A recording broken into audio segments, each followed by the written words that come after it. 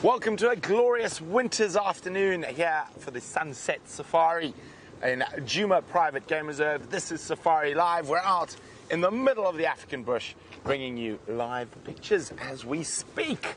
Uh, my name is Brent. I have a Gendre on camera. And we have Jamie and Dangerous Dish on the other camera. We've decided we're just going to drop Dave from now on. just going to call him the Dangerous Dish.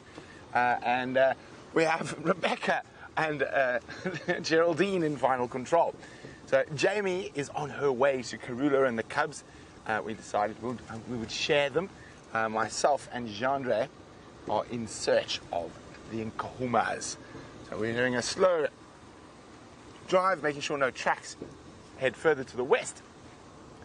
And we're hoping for a little bit of lion luck. Now, we have been incredibly spoiled with our lion sightings over the last while and uh, hopefully we continue to be so. Now, right here, it was right here on the Sunrise Safari that I managed to, I'm sure, make a lot of you at home laugh, as well as the whole of Final Control and Gendre, my camera operator, as I was yakking on about, I think it was animal movements due to drought and water and rain. I took a deep breath uh, to go along with my next sentence and I swallowed a fly. It was quite unpleasant. I coughed and I spluttered. And as I said, it's about the 20, between the 25th and 30th fly I've swallowed since I've been at Safari. There we go. And then, of course, because we swallowed the fly, I, sw I swallowed the fly, uh, immediately we started singing that old nursery rhyme.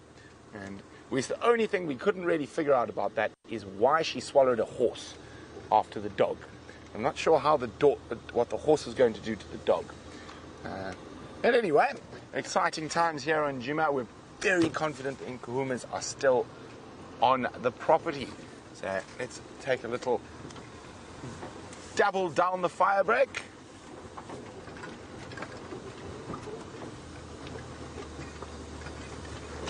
While I keep searching for the exquisite Nkuhuma ladies, I know Jamie cannot wait to join for you to join her on what vehicle? Oh, Wendy, uh, for her introduction to the Sunset Safari.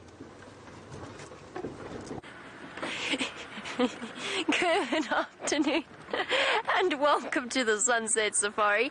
My name is Jamie and this afternoon I have Dave on camera with me. As Brent may or may not have mentioned, we have Rebecca in final control. And um, the reason I started off laughing as I was was because Rebecca was thoroughly entertaining me with her mispronunciation of the Nkuhuma Pride. It sounded a lot like she was telling me that Brent was going to go and look for Oompa. But I don't think that's the case. I'm pretty sure he's going to go and look for the Lion Pride, but I had to have a good chuckle at that, especially with her laughing at herself, still holding the radio mic. as she told us we were going live. So off to a fantastic start this afternoon. Now, apparently, Rusty's a little bit limited right now as to where she can go, but I'm hoping that we might be able to, that'll be fixed relatively shortly, and that we might be able to coast our way down into the Mlowathi drainage line so that I can finally, finally be reunited with Queen Karula, the leopard of Djuma, and her two young cubs who look like, from what I saw from this morning's drive, they look as though they have grown enormously since I last saw them. So I'm really very, very excited about that. That is something to seriously look forward to. Dave, are you excited? Oh, yes. Yes, good. We're all very, very excited to see them. We've been so lucky to spend the amount of time that we have with them. And then, of course, there's the fact that Herbert found the new Nkuhuma Den, also known as the Oompa Loompa Den. Thank, thanks very much to Rebecca for that. Um, Dave, uh, sorry, Herbert, not Dave. Dave, Dave was on camera with me this morning. Herbert found the Nkuhuma's youngest set of cubs not far away from the Vuyatela Dam, from Djuma Dam. Now that is really, really exciting stuff because it means that we're going to be seeing them more and more frequently. Dave and myself were surprised by a lioness this morning and her two young cubs. We were sitting casually with an elephant herd, at which point Dave goes, Lion. No, it wasn't. It was with an even more questioning tone. It was sort of, Lion? It was amazing. Um, so we had a really nice surprise visit from her. Unfortunately, where we were We couldn't get past the elephants in order to try and follow her, but she did go into a really, really difficult area. And when we tried to follow her, we discovered that actually we didn't have any signal there anyway. So as you can imagine, with the highs and lows of the terrain, it does make a difference in terms of broadcasting a live safari from the middle of the African bush. So far, so good. We seem to be okay. I'm sort of inching closer and closer to where Wendy might not be able to go. Dave, do you know the way here? Yes, Oh, good. That is marvelous news. What you fighting about, you lot? What's up? Ah. They were having a little go at each other, but they seem to have calmed down. A group starting off the morning with a group of crested francolin. No, it's not morning, it's afternoon. I may or may not have had a little nap that makes it feel a bit like morning.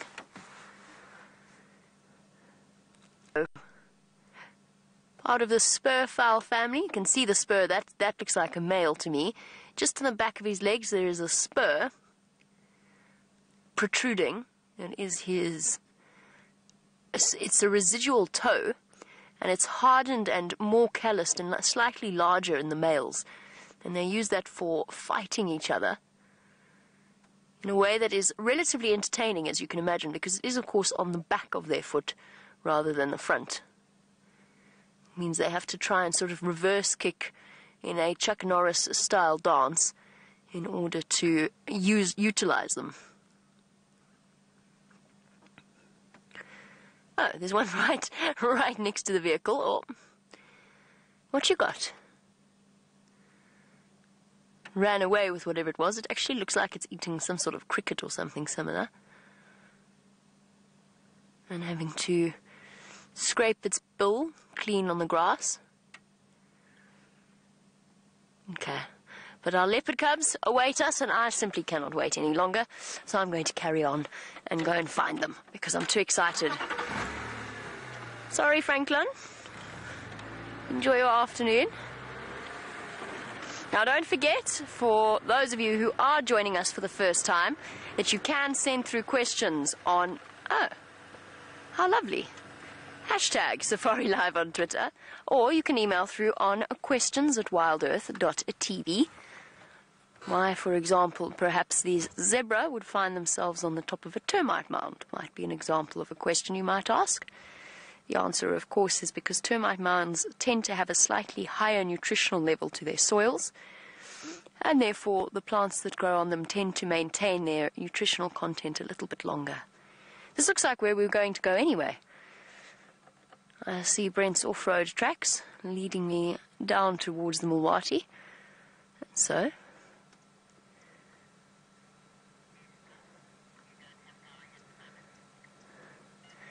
Do we dare to go into the Mlowathi without our Gari signal? How brave are we feeling? Pretty brave. I feel pretty brave. I feel confident we will be absolutely fine.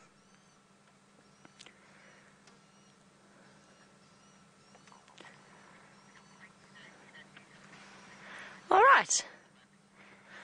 Let's try to go into the Mlowathi drainage line itself. Wow, it's hot today. Uh, supposedly it's 27 and 80, but I have to tell you in the sun I think it's warmer. So 27 centigrade, 80 Fahrenheit, in case that needed clarifying, although I don't see how you could possibly mix them up. Whew, very warm. And that sun is starting to get its summer strength back. It's back to sunblock for us each and every day that gentle layer or that sort of layer of sunblock that builds up on your skin throughout a summer day, collecting dust along the way.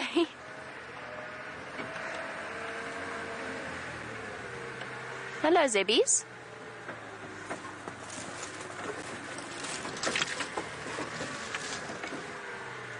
I'm not coming off road to look at you, I promise, even though you are lovely. Don't get me wrong. Had some interesting zebra behavior yesterday. There is also, for those of you who are sharp-eyed, really sharp-eyed, there is also a waterbuck, but it is hidden at present behind the zebra on the left. I can't see it anymore. There was a waterbuck bull as well. Oh, we're about to get to my absolute favorite part of Djuma, one of my favorite spots in Djuma. Well done, Dave. There's the waterbuck. He's beautiful. Let's go, guys, because we won't have forever to spend with those cubs before we have to make room for other vehicles. So we've got to make hay while the sun shines, or at least take advantage of the sighting before anybody else is out on their afternoon safari. We can always come back and look at the zebra later. While I attempt to find my way in, because word is, word on the street is that it's difficult to get in here, let's go over to Brent and find out how his search for the Oompa Loompa, I mean the Nkuhumas, is going.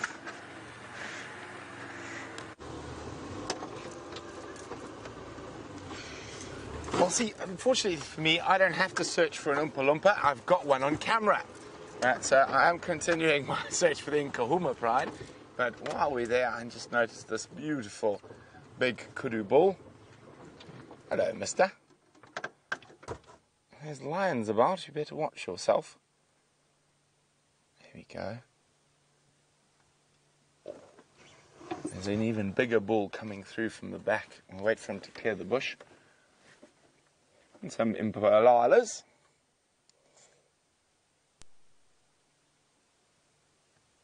Very, very still. About 27 degrees Celsius, 72 Fahrenheit. And at this time of the day, a lot of your sort of noisy insects and, and birds are completely silent. And here comes that big, big kudu bull now. He's bigger than the first one. Massive spread on his horns. And there he is. Beautiful. Mating leopards. I'm pretty sure I just heard mating leopards just down the drag. Well, sorry about that from Sadet Kudu. We need to get into that area so they mate quite quickly, especially if it's new mating. Um, I would have guessed not far, probably just north of Djuma Dam. This could be very interesting because Karula is not far from here as well. What's she going to do? Sorry, impalalas coming through. I'm uh, looking for cats who are in the, in the, in the moment, let's say that.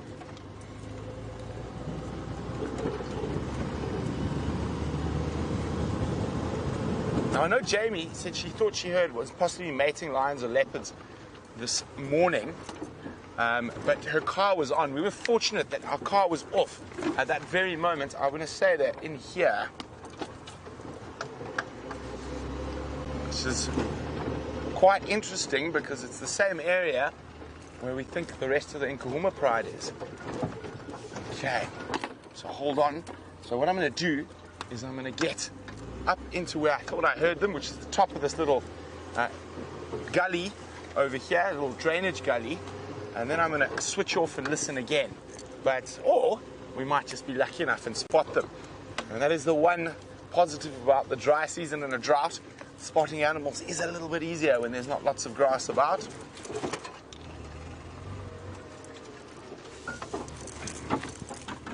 I wonder who it could be, because I know Tingana went on to Hoffman's, and could the old boy Mvula be at it again? Or could it be the ghost from the north, Kajima?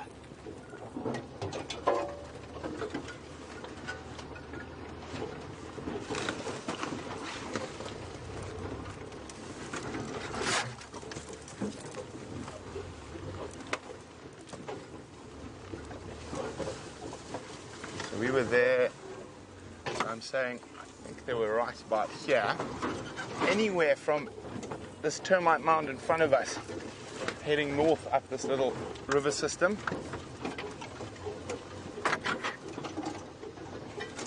Now, what quite often happens if the lions are around and they hear those leopards mating, they quite often go chase them. But we could be in for a treat. They're still in parlor there, and they're sounding, they're looking completely relaxed.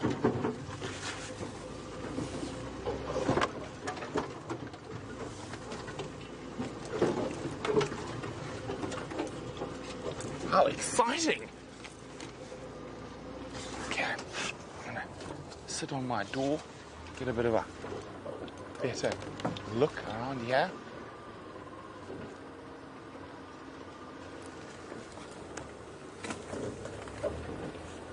It's so such a distinct sound.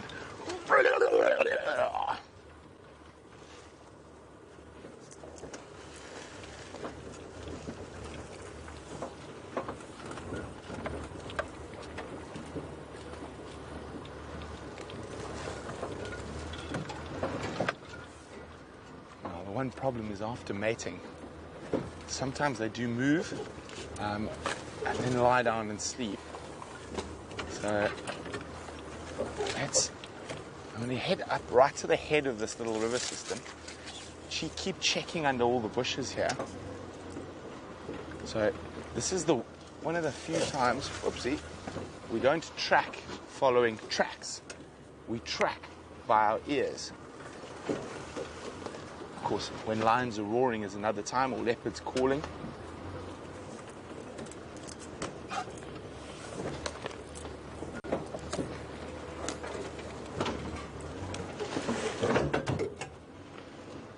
Come on, kitties.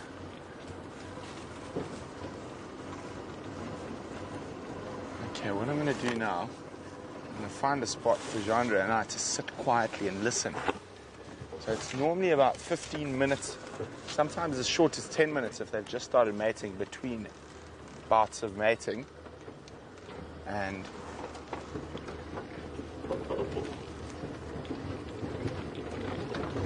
and hopefully we will hear them. I think it's probably been about six minutes since the last one.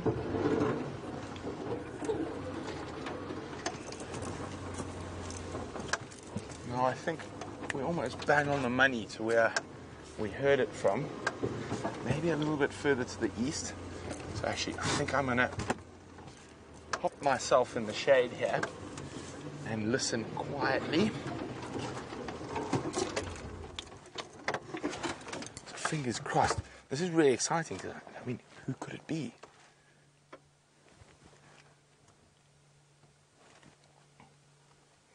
So you can see how close we are to Djuma itself. There's the FC antenna.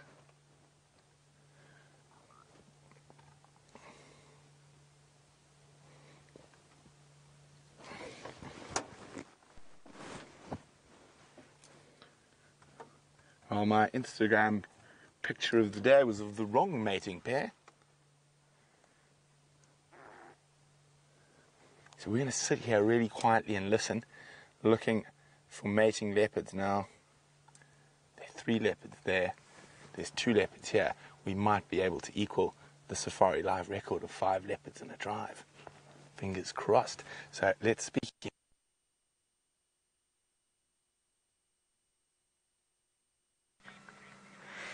Oh, there you go. Isn't this exciting news?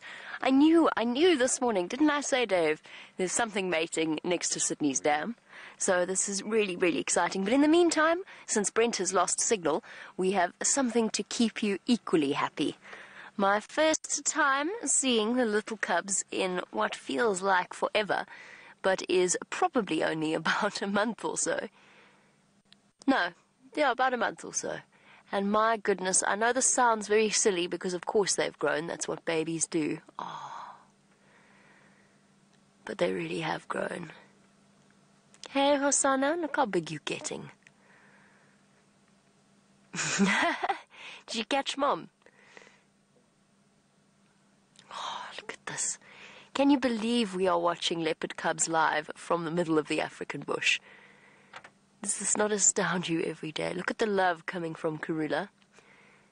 Gently cleaning off her little boy, making sure he hasn't missed any spots, while he's been feeding on the impala kill that she caught for them. Hey, Mom, not my ear. Not in my ear. Look at me, I'm a fierce predator. Don't need to be cleaned.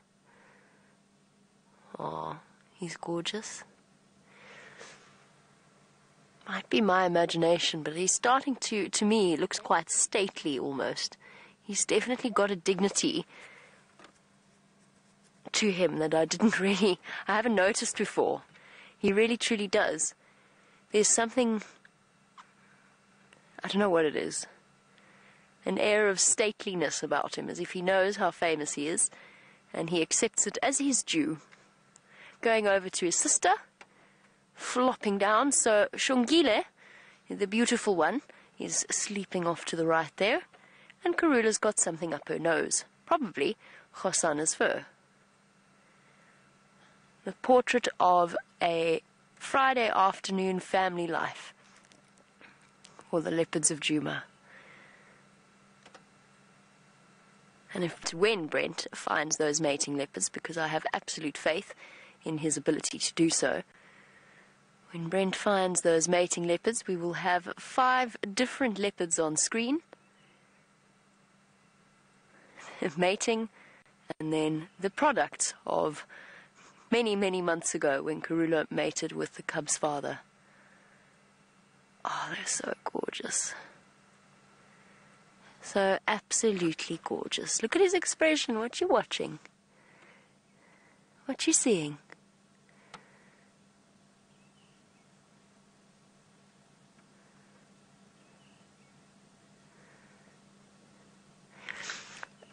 Uh, one thing that we do do each and every time we see these magnificent cats is we put them into a database called Panthera. Now, this is something that we haven't touched on yet, but it is today is in fact International Tigers Day, and we at the Wild Earth family, along with all sort of everybody else around the world, are celebrating both the tigers and what International Tigers Day actually represents, which is, of course, the protection of all kinds of endangered species. There might be more leopards than tigers, but they're still incredibly valuable. And the research that Panthera does and that we help them to do, up she goes into the tree. She's going to go and munch on some more of that impala.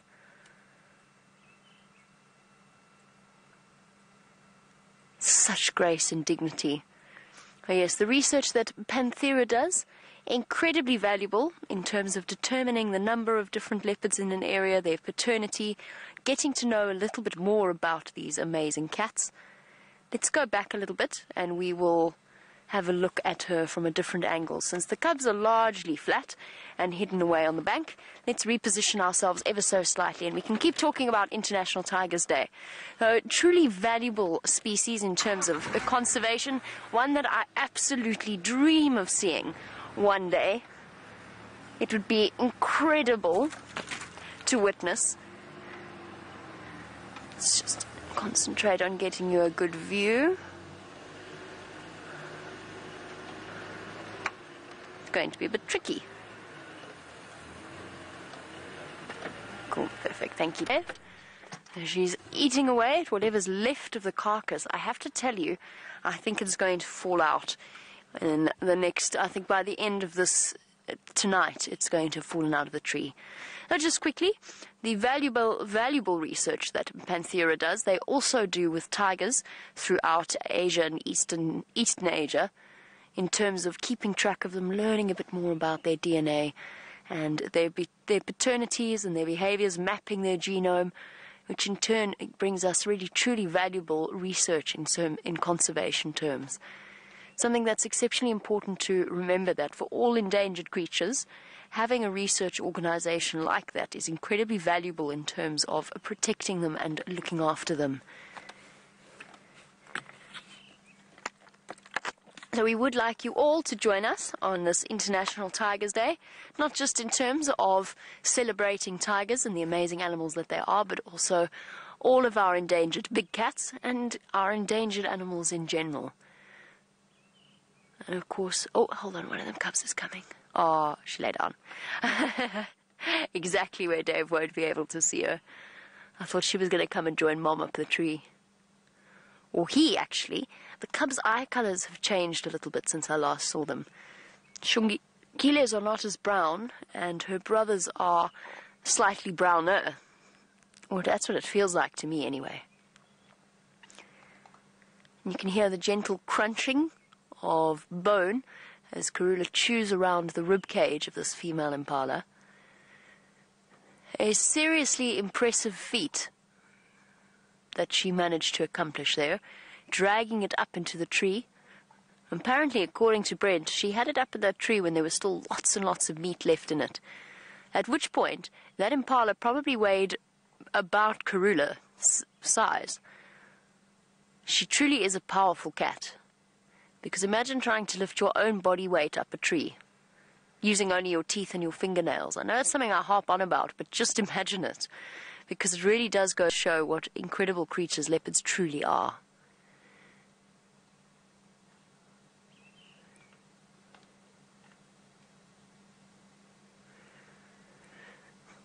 And welcome to Monty on our sunset safari as we wait for these leopards to find themselves a more observable position.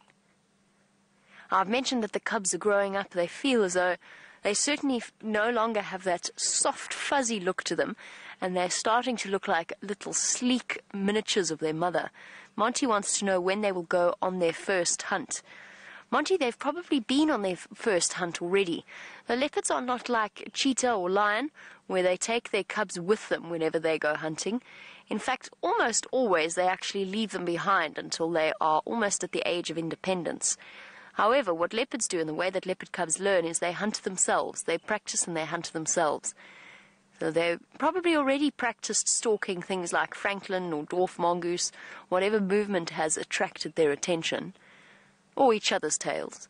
Even that valuable playing is learning and practicing the skills that they will need at a later stage.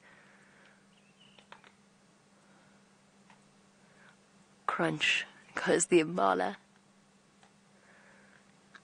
So, Monty, it will be only really when the cubs are quite a lot older that mom it's it's not unheard of for a female leopard to bring back prey that's still alive and to lead her cubs to it or to, to bring it to her cubs and let them try and kill it. So it does happen. They're not really cooperative hunters though, so a female leopard doesn't really want her little cubs scampering about her when she learns when she's hunting. And this, their state of survival is too tenuous for them to be able to do that. So it's not that she takes them on their first hunt, it's that they learn to hunt themselves. And the moment that we first see them with a their first kill, I think we'll all feel a sense of pride as if we've somehow contributed in any way to that, which of course we haven't. But there will be a sense of pride when they first catch, or at least we first see them catching their first prey. I look forward to it tremendously. Now, generally, the little girl, the female, will start to hunt and to practice those sorts of skill more and more regularly than her brother, her hunting efforts will also take her farther afield. Because female leopard cubs tend to show much more independence than their male counterparts at an earlier age. As to why that might be, we don't really 100% know. It does, it does sort of make sense flies everywhere thanks to the carcass. Um, it makes sense because the males, of course, need a little bit of extra time spent with mom and extra time gathering their strength because life for a young male is more dangerous than it is for a young female, and the young females get a portion of their mother's territory, usually. Not always, it's not always as simple as that, but they usually do. So they can afford to be independent a little bit younger. And there's also the fact, I suppose, something that occurs to me is that they're gearing up for being able to, or having to, support youngsters of their hunting skills, not just themselves. Now, they have to perfect those skills as quickly as possible because by two, they will be sexually mature and ready to have their first litter of cubs. And it's very, very important that they can support they have the skills to support not only themselves but their little ones as well. Something, of course, that Karula is tremendously good at. In a world where raising leopard cubs is exceptionally difficult and the rate of failure is unbelievably high, Karula is a cat that beats the odds. Somehow. Her ability to hoist an adult female impala is probably one of the big reasons why she is so successful. I also think she's got wisdom in where she places the cubs, where she leaves them. There's no denying that Karula's been incredibly successful, statistically more successful than any leopard I've ever heard of. Hey, girl. You're doing well.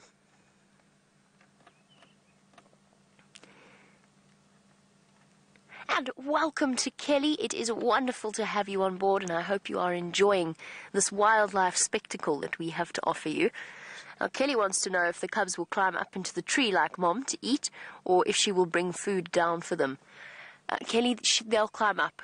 They've been climbing since they were a couple of weeks old, albeit not always entirely successfully, but at this point now, at nearly six months old, and they're very, very close to being six months old.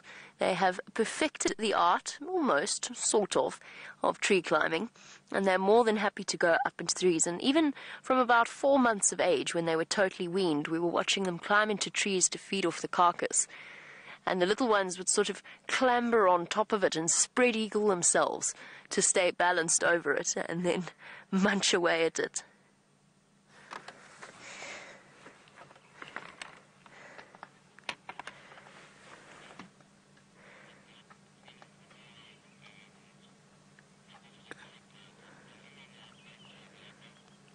Crunching away. Oh, Whoopsie. I thought she was going to fall out of the tree there. I actually got a fright. but it was just the carcass slipping.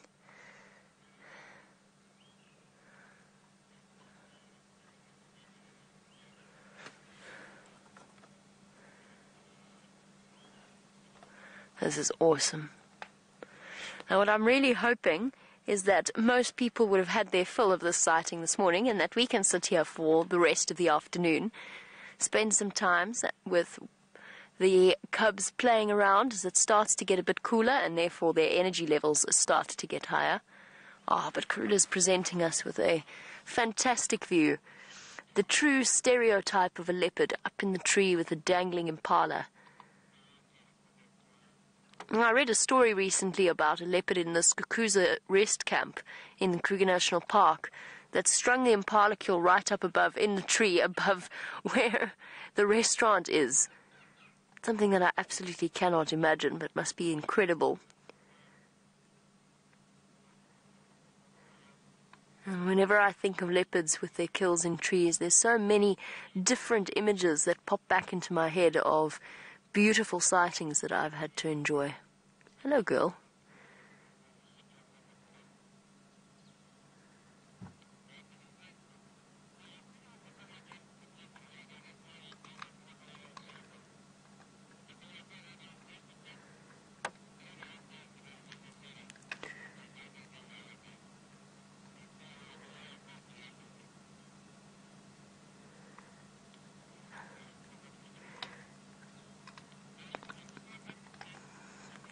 Now, guys, I'm sure you're wondering about how Brent's leopard search is going, and I'm sure he would like to give you a quick update on that. He hasn't found them yet, but perhaps he can give you a little bit more information about how that search is going.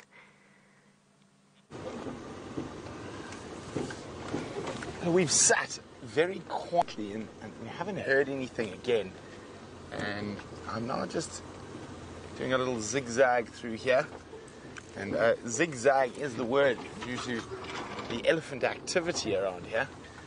And every time you think you found a path, uh, there's a fallen tree in the way. And, I mean, lovely open blocks. Once uh, we get some rain, grass will be very happy to have all that tree cover above them. I'm still convinced that they're around here somewhere. So what often happens during the heat of the day, the, the mating will slow down a bit. So when it's cool, they are very vigorous. And during the heat of the day, which it is now, uh, that mating slows down. So it could be as long as 20 minutes or half an hour in between mating sessions.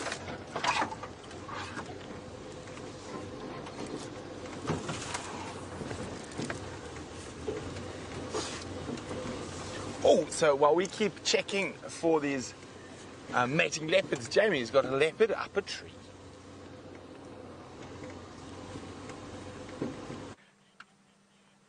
From the search for mating leopards to a leopard munching away on her impala lunch, I think that this will be potentially uh, the last that we get to see of her, at least in this place, since the kill is nearly, nearly finished. Sorry, I'm just listening to the game drive updates from Ephraim, and apparently there is another dead elephant on Buffelshoek. So the Lions are going to be having an absolute field day. It is starting, I think it is starting to be the result of the drought. Some of the older elephants, that's, that's normal though for the dry season is as the, the level of nutrition gets lower and lower in the, the plant material that they're eating, they do start, the older elephants start to die around the dry season. The food is just too hard for them to eat with their worn down teeth. Unfortunately, another elephant has died in Buffelshoek, but it will be providing food for the rest of the animals in this area for weeks and weeks to come.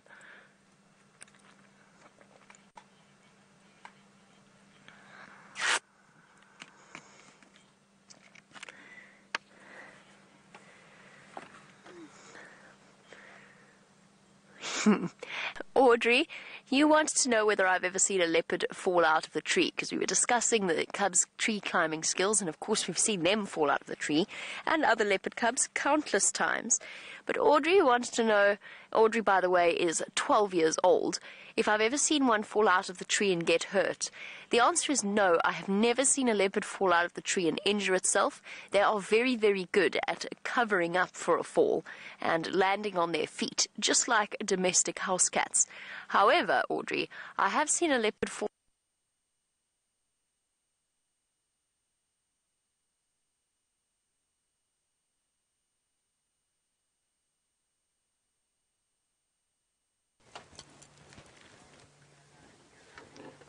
We're sitting quietly and listening again, hoping to hear that very distinct. What?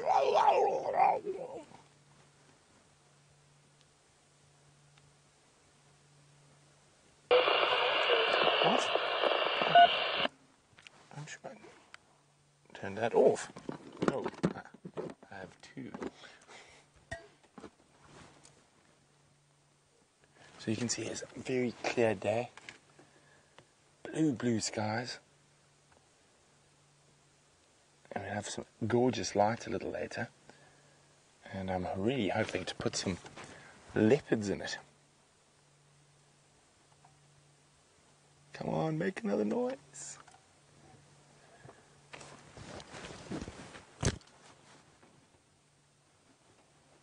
Now, we're sitting on the crest uh, of a little hillock here, and tree species that dominate these areas are marulas, uh, terminalias, and bush willows.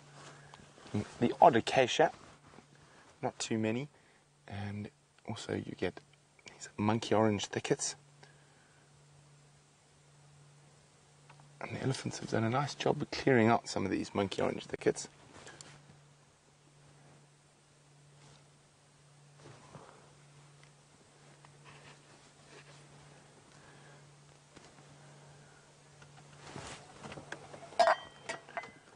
Um, sorry, I just got to chat to Orby quickly. He's helping us look for these leopards. Orbs, I was on Mvubu when I heard the, the audio.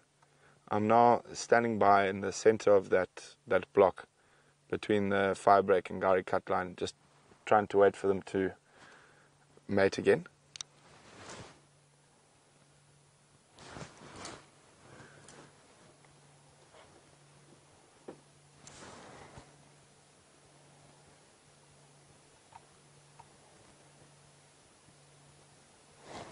Now it's incredible.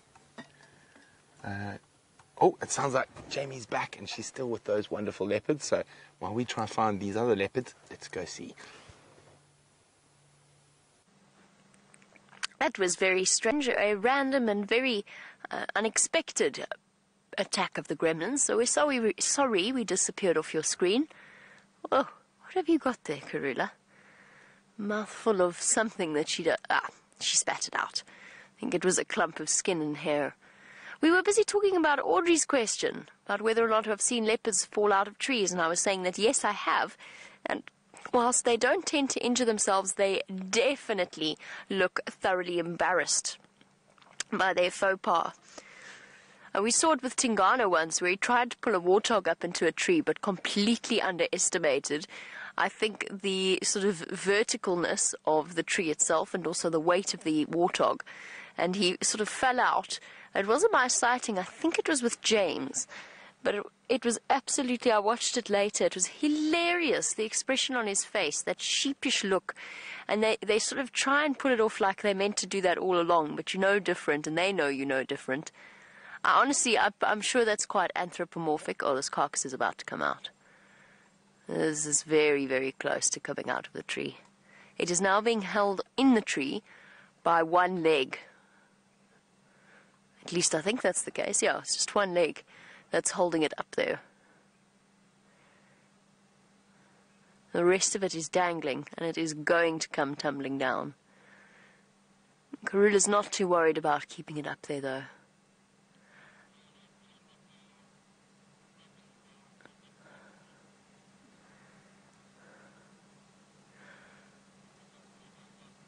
Okay.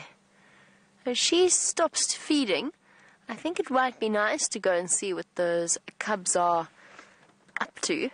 And see whether or not they are visible. I don't think they are. I think that they've gone flat down underneath this tree. It's a lovely tree. It's like a gardenia, actually. Bushveld gardenia. That they've she's managed to put the kill in and the cubs are sleeping somewhere underneath there. So we'll go forward and we'll just have a look. I just wanted to contact Ephraim very briefly on the Game Drive channel before I do. Uh, Ephraim, you're welcome to make your way. Uh, both um, Fuzzy and the Mapimpuns are on the bank here, on the eastern side.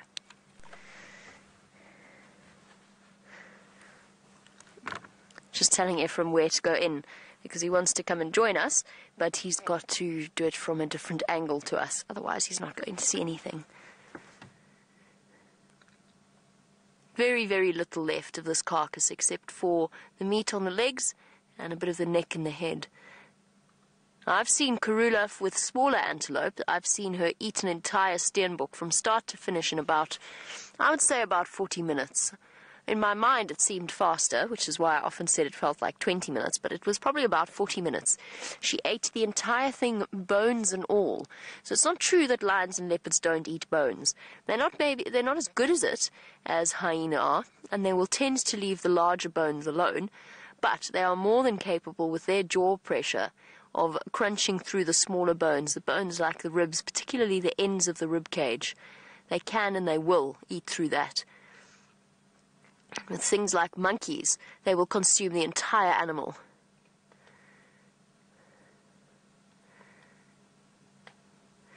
And Kelly Brewer, it is lovely to have you on board. Kelly says that this is actually her first safari experience and that she's checking it out for her kindergarten students. Oh, I'm sorry to present you with a slightly gory view of our leopards, but that is simply the way of things out here. Kelly, it's wonderful to have you on board.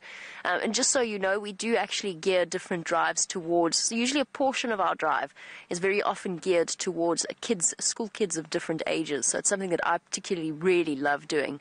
And we are on every day, twice a day, and you're more than welcome to jump on board with us with absolutely any time. And we can also answer the kids' questions for them so they get to hear their names as well on a live safari. Okay, let's reposition ever so slightly and see whether or not those cubs are there. I'm just looking at the vulture that is flying over. I wonder if Karula's going to be spotted. I think she's been spotted. I can't see it. It's just above Dave's head, unfortunately. Hmm, maybe not. That's why leopards like to hide their kills in such dense trees, because it protects.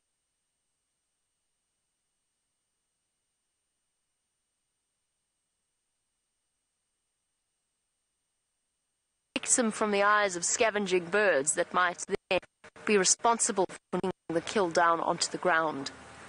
Right, keep your eyes here, obviously, because we've just seen them. Let's try and get a different view.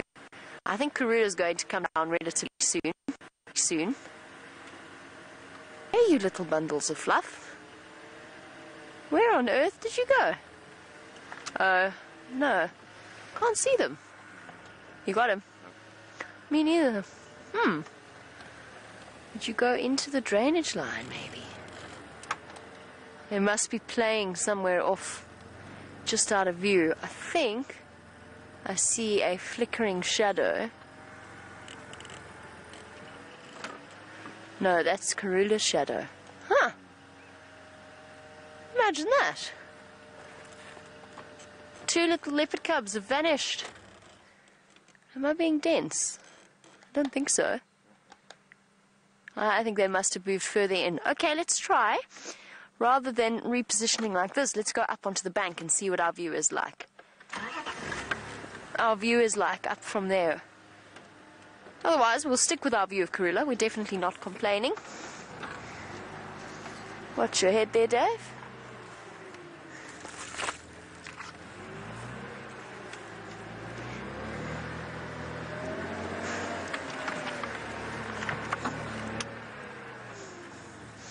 Now, while I do this backwards, I'm not quite sure why I decided it was a good idea to do this backwards. Let's go back over to Brent and find out a little bit more about his search for the mating leopards. It's actually quite a good view. Well, the mating leopards are, are very much a sort of rush and wait type of track. So we've rushed, and now we're waiting. Just waiting for that sound to pierce through the still afternoon air. And when I say still, I can hear one hornbill. The odd insect, but at this time of the day is when the bush is actually its most quiet.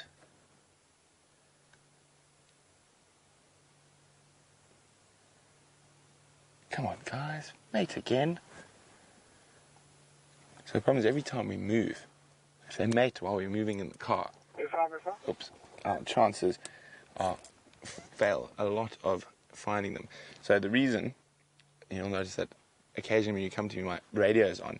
It's because I need my ears. So I, Jean Ray kindly listens to Final Control for me, and I actually take my earpiece off. But also Aubrey is looking for these leopards as well. So I actually need to have the game drive comms on. But even if they're on down there, but not in my ears, it, my hearing is much much better.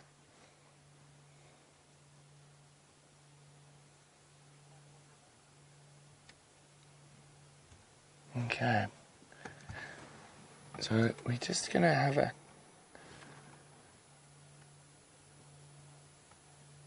quick. Oh. No. Thought I heard something. I think it's a car. I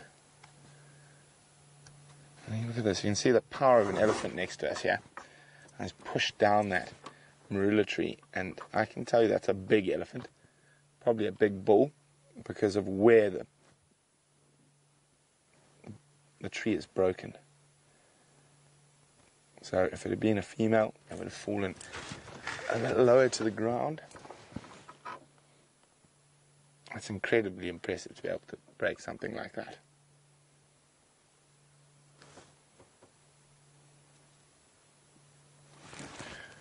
Okay, we're gonna move it on again a little bit in the bush in the block here. Here we go, look at that. Oh, one lone francolin.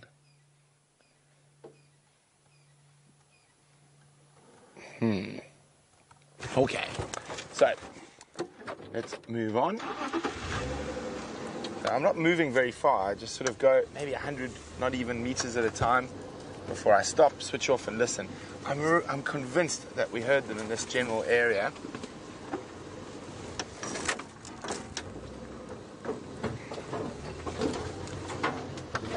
Now, if it is Mr. Gijima mating the ghost from the north, it could be very interesting because we're probably going to have to stay quite far back.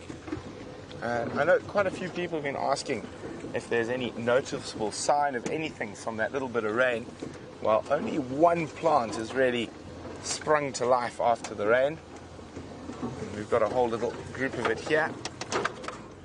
The baboon's tail and see all the greenery. And uh, hopefully, we're going to be seeing those beautiful little light purple flowers uh, in the next couple of days. It's only the first to flower after the dry season if there's a little bit of rain. So while we continue our listening game, let's go see those wonderful leopards uh, with Jamie.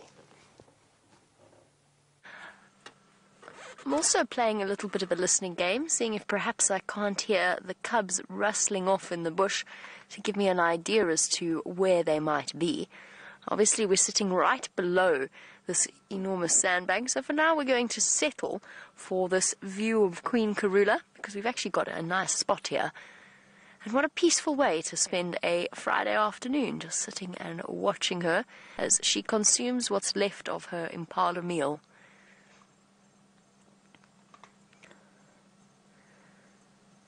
And it just goes to show how voracious these little cubs' appetites are.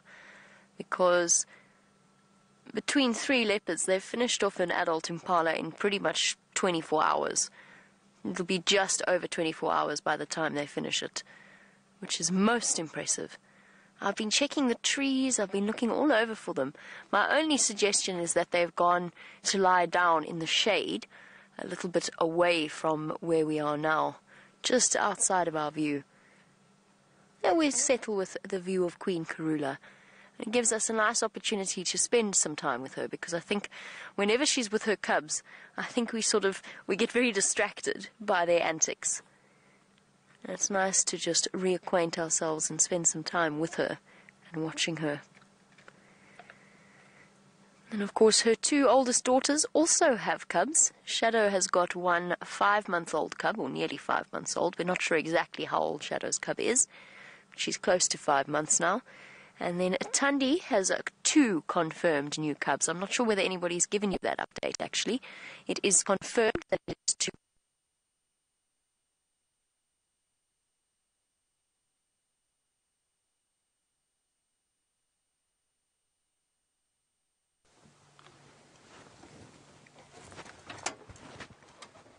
We haven't moved far. We're sitting quietly again. But I think what I'm going to do is I'm going to try to get out of the block now. I'm going to check on the fire break.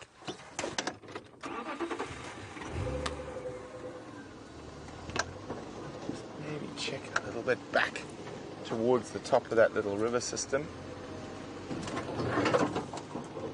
Oh,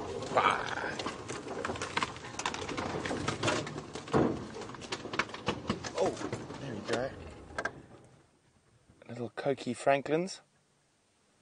Very cool little birds. That's a female. I'm sure we'll spot the male if we look carefully. That's a little female Coqui francolin.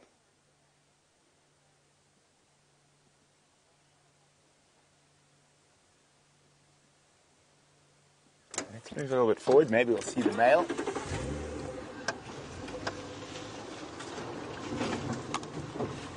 Now, their call is one of the more amusing. The best way to describe it is it sounds like a rusty bed spring.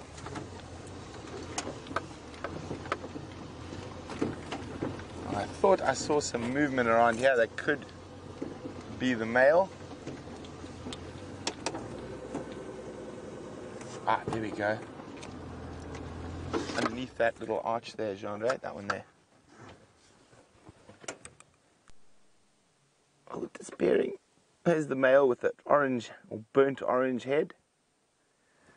Oh, there we go. Off they go.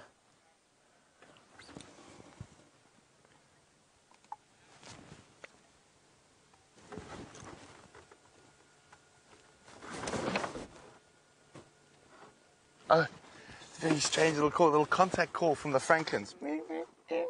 Talking to each other.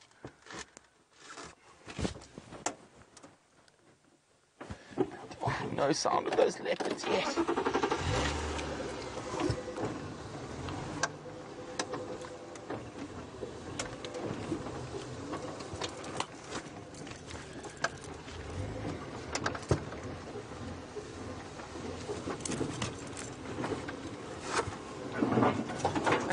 Almost an ideal temperature. I mean, shorts, sandals, shirt, 27 degrees, wonderful. Of course, as that sun dips below the horizon, it's going to get quite chilly quite quickly.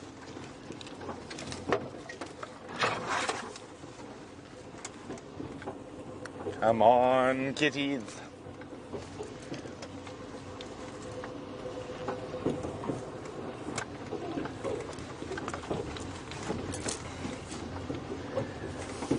Uh, Lynn, hi.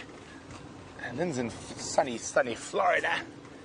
And Lynn would like to know if there are any carnivorous plants in and around the Kruger. Uh, there's one or two, Lynn, but they're very, very rare. Uh, you generally find carnivorous plant species either to be in very harsh climates, uh, so either desert or rain, rainforest. Uh, I'm trying to think. The Stapelia or carrion flower. That that sort of smells more like carrion to get pollinated rather than actually carnivorous. Although some flies and that do get stuck in that smelly sap and does give them some nutrients, but it's not the main reason. Um, John Ray, can you think of any carnivorous plants in Kruger? Normally deserts and, and rainforests tend to have those.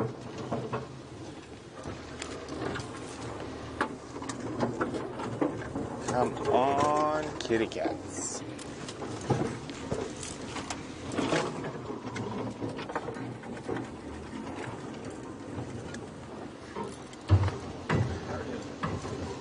Look, that, no, it's attracts flies for pollination, not for eating. Uh, so it seems like Wendy's found a gremlin nest. Uh, hopefully she'll be up and running shortly. Uh, we do apologize for all the bashing and crashing and the noises that you might be picking up as we move off-road through the bush. But hopefully it's going to be worth it. There are mating leopards if you're late to the Safari Live party uh, on this Friday evening somewhere around here. So we're trying our best to find them. Unfortunately, that does sometimes take us a wee away from the beaten track. Of course, if I see anything else interesting while I'm looking for these leopards, I will stop, such as those little Coqui francolin we just saw.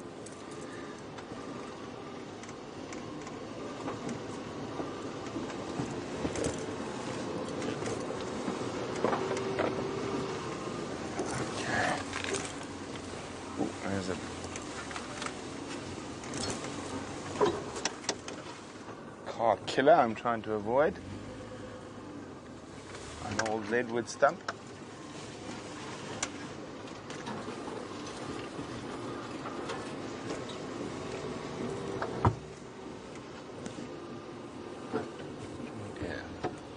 We're getting to one of my least favorite types of area around Djuma, and that is the monkey orange thicket. I'm going to try avoid as much of it as possible. It is incredibly noisy to drive through.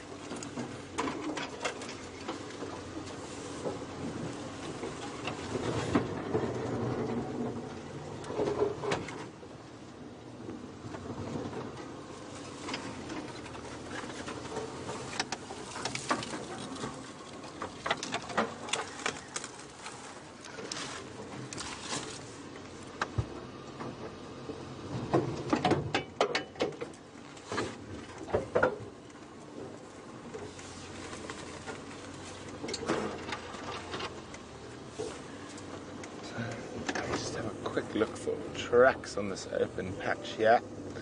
Now, of course, Jamie's been telling you it's International Tiger Day. And uh, Panthera is a worldwide organization uh, for the conservation of big cats. And of course, we collect all those scat samples uh, around the Sabi Sands of the, the leopards uh, for genetic tests. We've got a couple of multiple projects going on.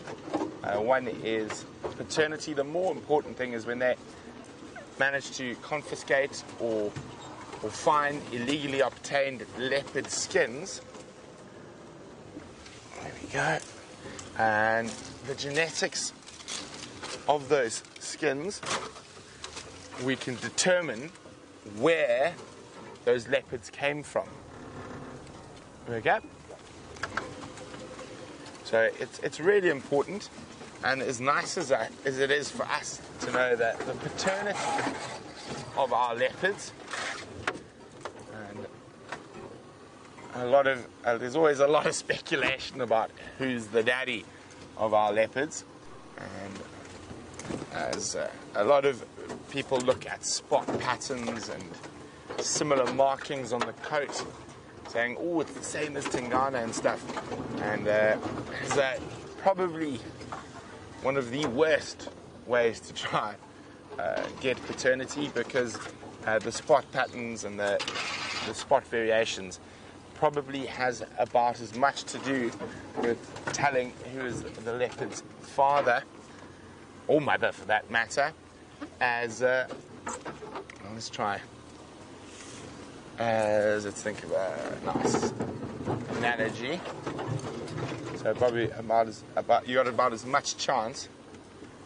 as uh, oh sorry I'll back in a second. I just thought I saw a track here.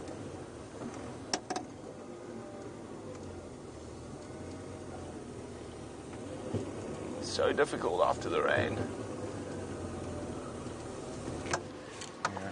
Sorry, sorry about that. I got distracted. I thought I saw just the hint of a leopard pad on the sand. But as I'm saying, it's about you about as much chance as I identifying. Oh, I can't think of something to compare it to. John, can you think of anything? No. Well, that's not a good sign when you're looking for a leopard in front of us. Maybe they're a bit further to the north.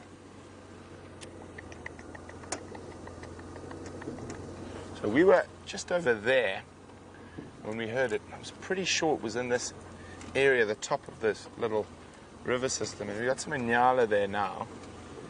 Maybe they were heading bit east. So I'm going to actually cut, I'm going to drive out and then go onto the fire break and we'll switch off there and listen again for a while. Um, Oh yes, there we. I think I've thought of something. Uh, I that with the leopard spots and similar markings on their face and stuff like that, the chances of being able to identify paternity or maternity from those type of markings uh, is about as likely as identifying where every paperclip in the world was made.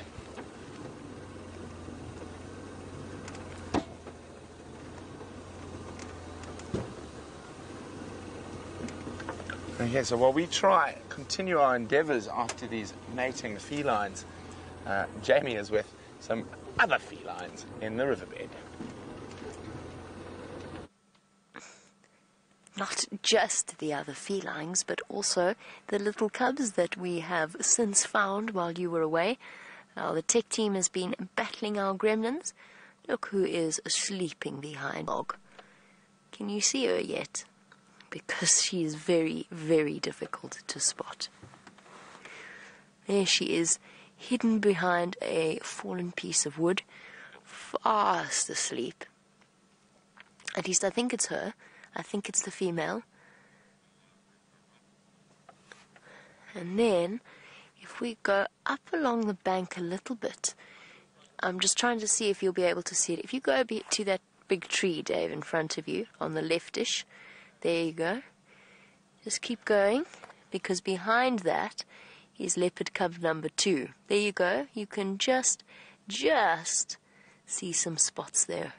If you look really carefully in the middle of your screen, there's little breathing leopard spots. And both little ones breathing, breathing, breathing very rapidly because they've got incredibly full bellies. Oh, these little cubs have become so much more comfortable around vehicles, but if we try and reposition now, we are going to scare them. And I really, really don't want to do that. We've spent so much time getting them used to us.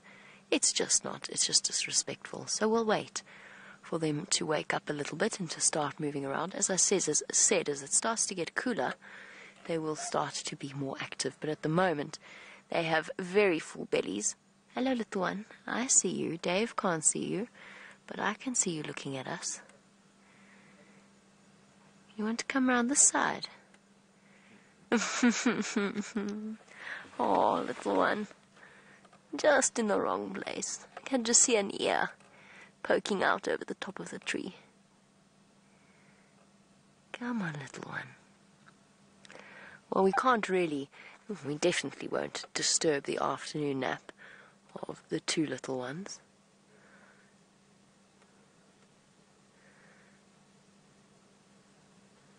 On the one hand, they feel as though they've grown so much, but on the other, they still look so very small and vulnerable. They are so utterly adorable. Hey, little munchkins.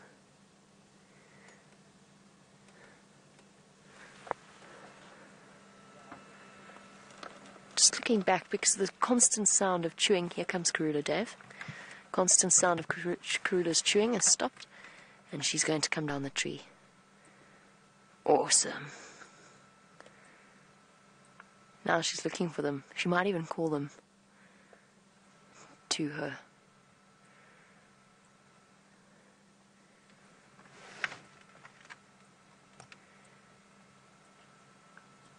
Yeah, she's chuffing.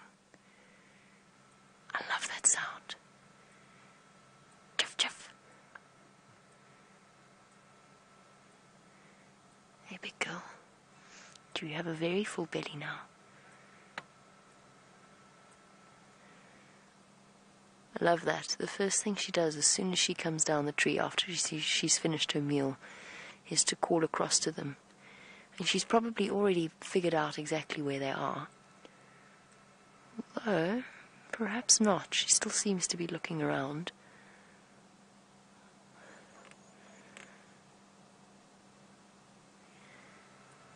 and giving herself a jolly good clean. Now, this is a very difficult sighting for Dave, just by the way, just in terms of the lighting, because Karula keeps plonking herself in the shadows, but with the incredibly bright and sunny light, it is quite tricky, tricky him to be able to get the amount of detail that we normally are able to show you. But that's going to change as we spend our afternoon here with this wonderful leopard family. It'll make life a lot easier as the sun starts to set girl, fastidiously cleaning off all vestiges of her meal, any bits of rotten meat that might be clinging to her fur, she will get rid of. Leopards are much more clean animals than lions are. They're a lot more, as I said, fastidious about their general hygiene and condition. But all big cats will, after a kill, after feeding on a kill, they'll spend quite a lot of time cleaning their paws and, in particular, their claws. They'll stretch them out and unsheath them and clean around them because the last thing they want is a build-up of meat or grit or dirt around those very sensitive claw sheaths because the, sh- the claw fits into the sheath in a very, very smooth and tight way. And if they allow something to get in there, First of all, they run the risk of an abscess or infection, and also it stops the claw from working as it should. It's very, very important for her to keep those feet clean, if nothing else. That being said, you still don't want to cuddle a wild leopard. They are parasite ridden. They've got lots of ticks, they've got lots and lots of intestinal parasites, and all other kinds of things like small parasitic worms swimming in their saliva, you don't really want to handle it with bare, with any cuts here that comes up. He's going to make his way to Mom, I think. Come on, little one. You were playing so nicely with Mom earlier. It's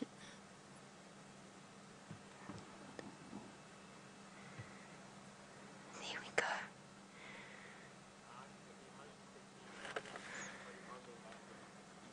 Oh, going from one spot to an even less visible spot. Fair enough. What you doing, little one? Is that where you're going to stay?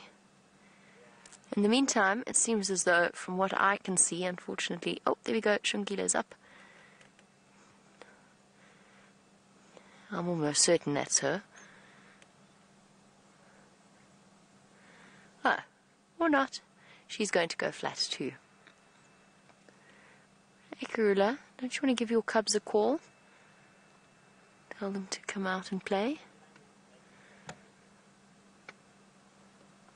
We are so privileged to spend time with these animals. Sorry, Dave, I know you've just turned all the way to Karula, but Shongile's just caught... Uh, hold on. She just caught a stick. it was really cute. She caught that sticking out stick. She's going to go stalk her brother, I think. Oh, look at that big round belly.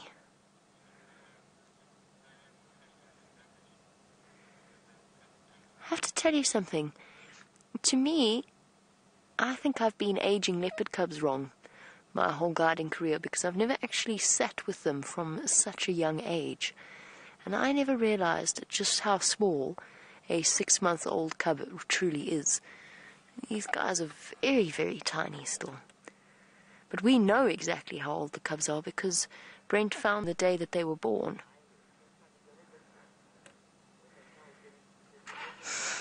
And what's interesting to note, though, is the change in in the way that they respond to things. When they were little cubs, their entire world revolved around their mother.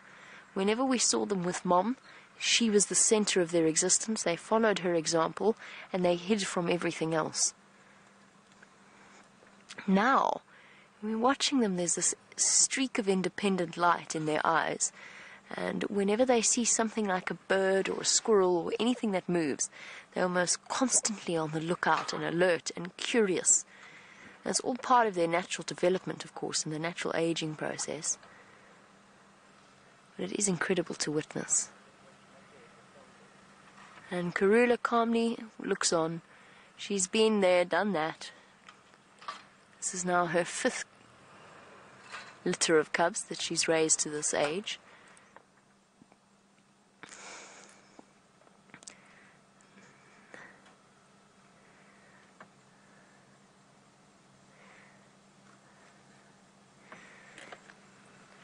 And Chloe, you want to know whether or not the mothers and offspring will keep their, will stay on sort of familiarity terms with each other. You're saying you know that leopards are solitary, but do they ever meet up when they are adults?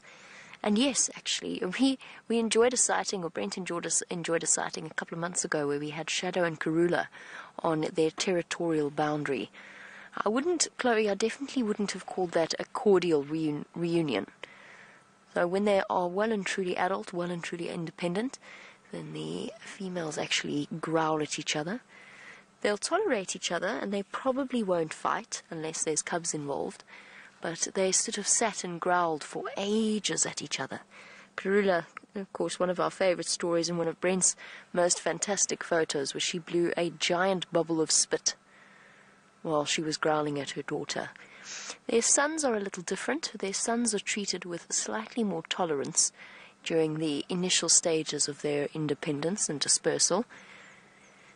And then once they go and once they move off, mm, familiarity in leopard terms can mean a lot of different things. If a female leopard were to encounter her grown up son, and he had become dominant in an area and she was in estrus, she would mate with him. It is just the way that the world works out here.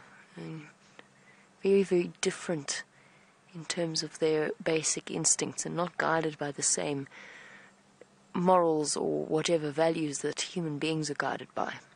So lions will mate with their own daughters or brothers or sisters, and leopards will do the same if they encounter them. It's one of the big reasons why the females stay in an area where they are much more likely to encounter their mother, but the males move off and sometimes even dispersing distances of 200 miles.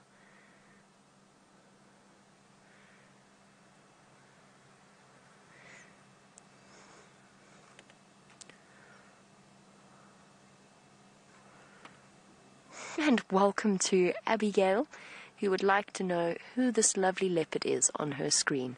Abigail, it is fantastic to have you on board, and I really hope you are enjoying it. Abigail, this is probably one of the most famous leopards in the entire world.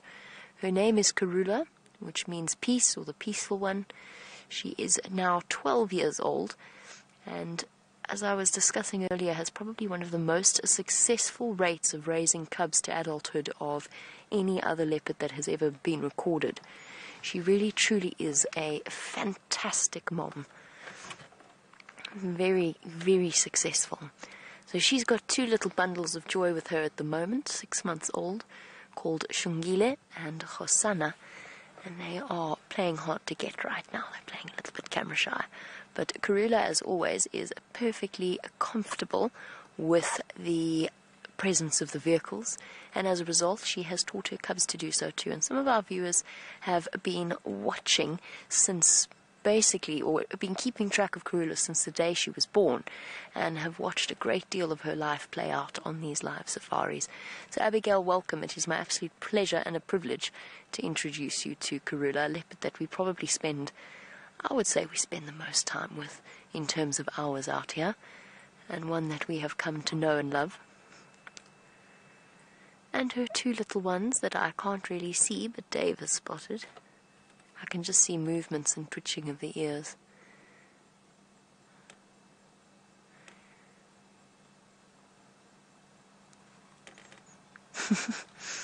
just little shapes moving behind the trees. We. You got it there. Some spots.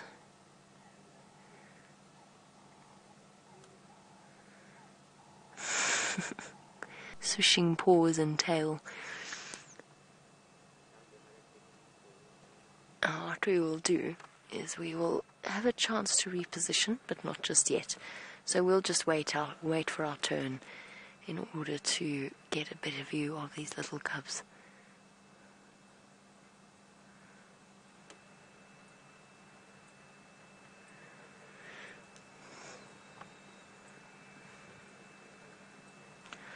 And there we go, back to the original topic of conversation, a question from Jane. Um, we've discussed the way in which leopard, male leopard cubs disperse farther away from their mothers than the females do. And Jane wants to know how far will a male leopard travel. Um, sometimes, Jane, it's just a matter of a couple of miles. So, for example, Karula's son, Shumbalala, is not, he's the dominant male leopard towards the Kruger National Park, not at all far away from where we are now, probably in a straight line a distance of four or so miles, just about seven kilometers, if depending on which system you're working in. And of course, my miles conversion is always atrocious. And then the one of the biggest recorded distances was from the uh, park in the KwaZulu National Tel. No, that none of that sentence came out right. KwaZulu Natal, one of the national parks in KwaZulu Natal, um, Hluhluwe Umfolozi, a male leopard was recorded dispersing from his mother to Kruger National Park, which is a distance of roughly 500 or so odd kilometers, no more. Must be about 800 or so kilometers. Mm, let's say 600 kilometers.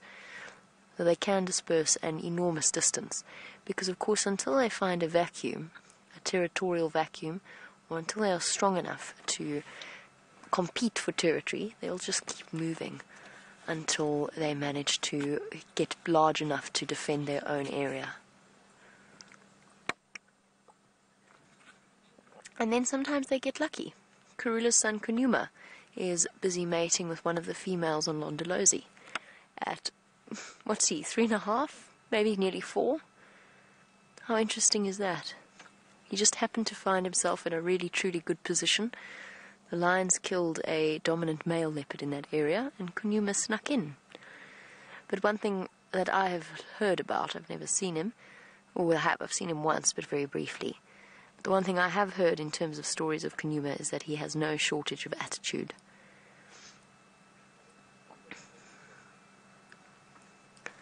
Quarantine as well, growling at his older brother at a very young age. It's interesting.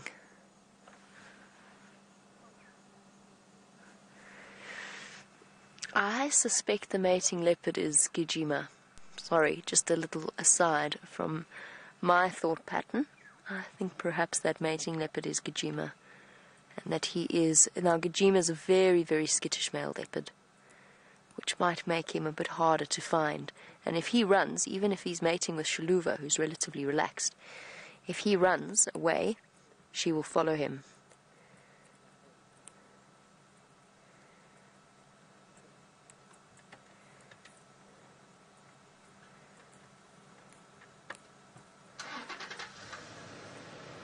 And Space, who is a new viewer. Just bear with me one second.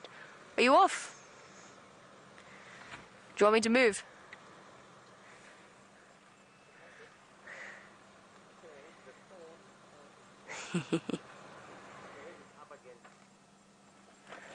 My cub apparently is up again. I can't see it. Sorry, Dricky's face, who is a new viewer. Welcome. It's so special to have you on board. I'm glad we could present you with this amazing sighting that we are enjoying on a Friday afternoon. And Dricky, to, well, you said, will we give the leopards names with a, with a question mark? Um, how do we know which is which? And the answer is officially, scientifically, each and every leopard spot, every leopard has a unique spot pattern, both just in terms of the arrangement of their spots and also on a slightly closer level of examination, the top row of their whisker spots will have either two, three, or four dots to them. And so they became they become known as sort of the three four female or the four four female in one particular area. That being said, Ricky, it honestly gets to the point where you spend so much time with these animals, watching them, that you actually know them almost straight away, just from their look. They start to look as different to you as different people do. It's an interesting effect, but it really is, I found it to be absolutely true. The more time you spend with them, for example, I'm pretty sure that I could come upon three lionesses and immediately know that they're the Nkuhumas and not the Styx, just by looking at them. Okay, as soon as Ephraim has moved a little way away, then we can switch on and reposition for the cubs. I'm just waiting. I don't want two engines or two vehicles on at the same time in the sighting. Just minimizes the amount of noise interference that happens in these cat li- cats' lives. So, Dricky, wonderful to have you. I'm also pleased to introduce you and Abigail and all our new viewers to the lovely Queen Karula. A leopard that, as I said, we've come to know very, very well. All right. Now, speaking of Queen Karula and her little delicious monsters, or whatever it else it is that Brent calls them, because it just amuses me so much. He's definitely soppier than I am when it comes to baby leopards and lions. We're going to go forward a little bit and see if we can't get a different view.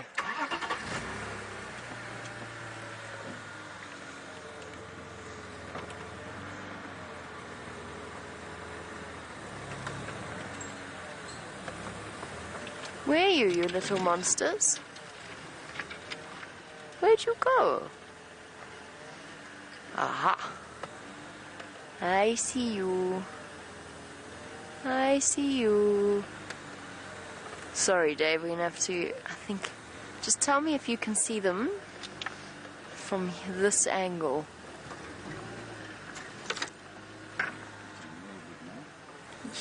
A little bit more, you say? Just a bit further into the thorn tree, you mean? Cool.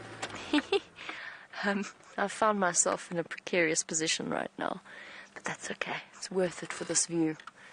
Hello, little ones. Are you exhausted? So much growing and so much eating over the last 24 hours. Two very content little leopard cubs are fast asleep. And just by the way, there are other vehicles wanting to come into the sighting, but Andrew will, or sorry, Mike will only be able to come into the sighting once Ephraim has moved off Djuma. Uh, there's a sort of there's an order to the way in which vehicles can come in, so we're not keeping anybody's spot in this particular moment. We're just enjoying some time spent with them. The other guys have rushed off to look for cheetah around Buffelshoek. Yeah, such a picture of contentment. Just one little ear twitching every now and again. The male in the front and the female at the back, and you can actually really see the difference in size.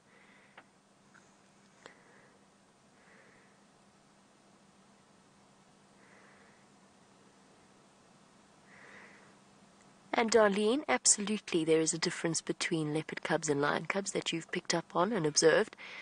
The little lion cubs that we have are much more boisterous, and they seem to have almost non stop energy. They're constantly barreling about, well, almost constantly barreling about doing something. There's definitely a contrast with the leopards. They are much less, as you said, they're a bit more introverted and a bit more retiring. And that is instinctive, that's a difference in character. Because if you think about it, a leopard is a secretive creature. It's a secretive, solitary, almost lonely figure, although, of course, that is the way that they have evolved and prefer it. Whereas in the complete opposite, lions are 100% social cats. The company of their pride members will be a staple sort of security for their entire lives. It's not something that the leopard cubs will have to enjoy. I don't know what extent sibling recognition happens or recognition of their family once they grow up. I think they probably know each other and tolerate each other. But they ultimately are destined for, unless for the female, when she has cubs, they're pretty much destined for a solitary life. So what's the point in... Oh, I forgot that there were thorns there. that was, um, unpleasant. It's okay. There's a... I've been leaning over my monitor. I forgot that there was a thorn tree behind me. Um, in the thorn tree. It's okay. Not a problem. It was just that one branch happened to spear me in the back. Here we go solved. Problem solved. so, yes, there is a very big difference, Darlene, in terms of our little leopard cub's behavior.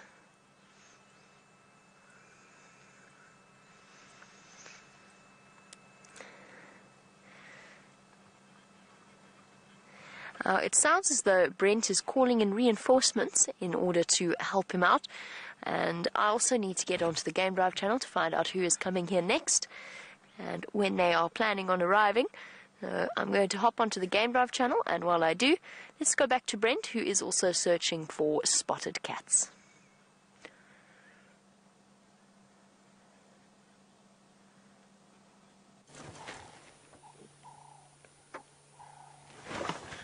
So we are indeed searching for spotted cats, but two varieties. We're looking for spotted little lion cubs at the moment. Herbert found the den, I think it's here. I'm just having a look at Herbie's tracks. And he told me right here, and I can see his tracks here. He said there's a little drainage line, so I think the lion cubs might be in there. So I just want to see if mom's here. And it's also very close to where we heard those leopards.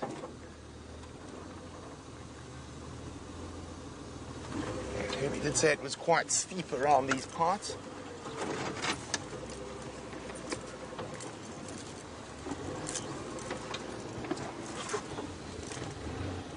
Okay, let's see if we can spot a little lion cub, a little spotty creature. Now for me, I think we're looking in the wrong place. Yeah. Just see where Herbie's track's gone. I don't believe she would have put the cubs there. This is actually quite a big elephant path, so it could be a bit of a danger coming through here for those cubs. Let's have a closer look at where Herb's tracks went.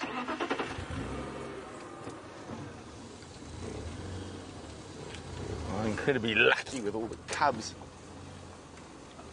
around at the moment. I can see, it. there we go, there's Herb's tracks. Ah, they go down there. And let's just make it doubly sure.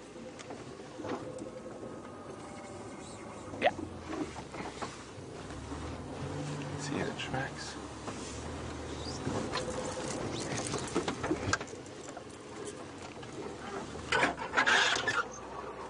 Oh, it looks like he just turned around here. Maybe he was looking for a way to get in. Can You see any vehicle tracks your side there, John Ray?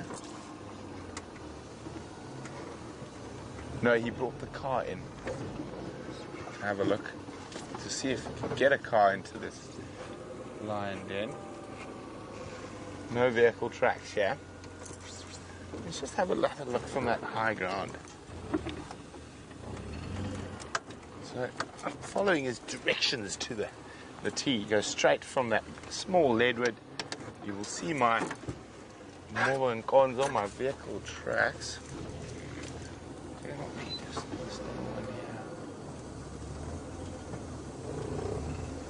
Just checking in that tambotie thicket. Can't see anything there.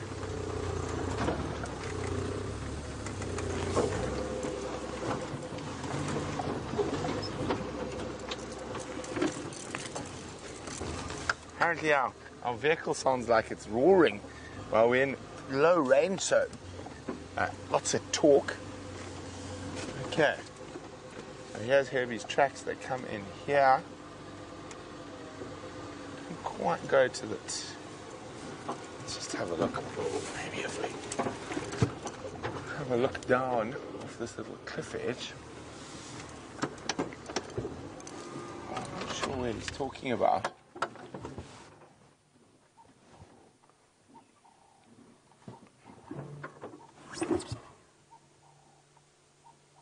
To listen to see if I can hear any of those little lion cub sounds they make when mom's around.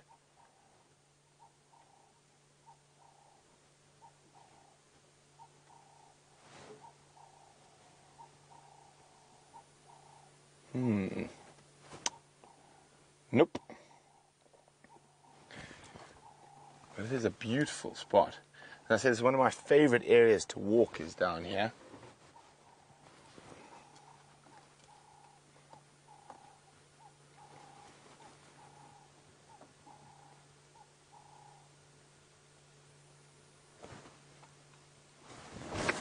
Conundrums, conundrums.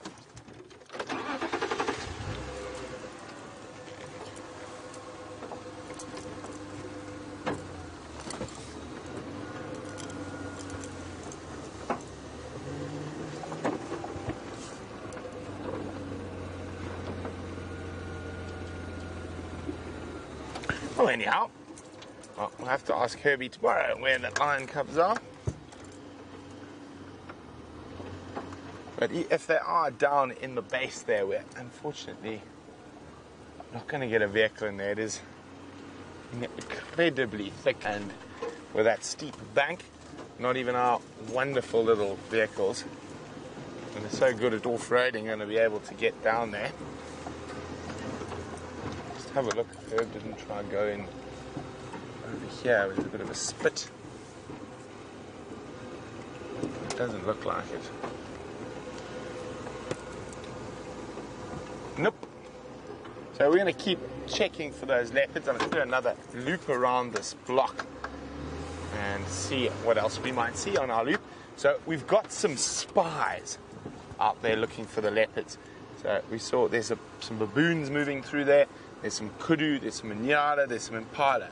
So if those leopards uh, pop out somewhere over there, uh, we got a good chance that one of those creatures will see them and start alarm calling.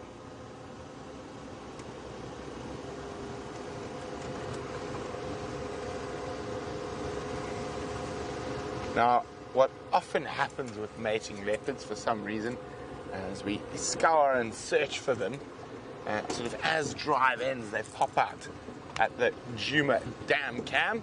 So, who knows? Keep a lookout on the Djuma Dam Cam. Uh, who knows? After after drive, they might pop there for a little visit. And my reinforcements, it looks like Ephraim.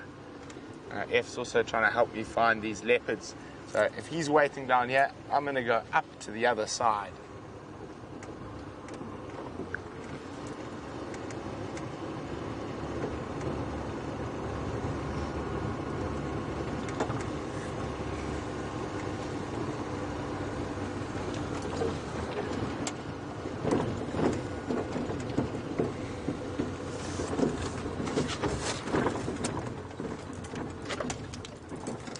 Oh, hey! Hello, everyone. I would. Hi, F. No, you will. Good, thanks to yourself, Mvo. Good. That English cutting Yes, Bazan, Mvo. I heard them twice, and then nothing for an hour. Middle of this block. I even drive into the block, and I've been s- I was sat there for half an hour.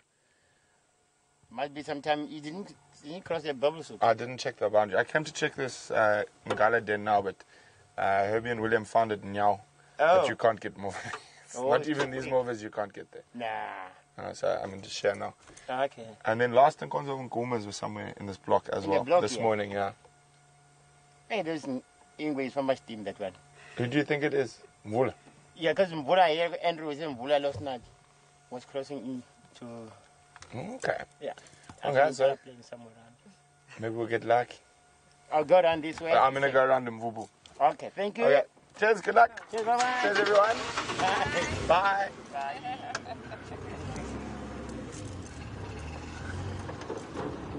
We had a few um, photographers on that vehicle.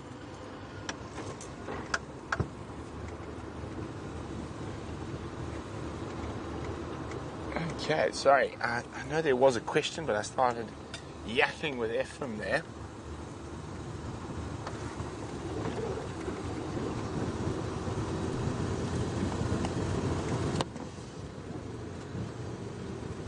Ah, Haley.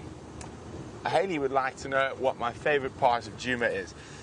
Oh, Haley, that's a difficult one. I think I've got a few favorite parts. I would say definitely that, that little river system we've just been looking into, and the section of the Mlowathi River here from uh, where you can't drive anymore up to behind the, the Djuma da- or the Vuyatela Dam. Uh, that's exactly the area where Karula is at the moment.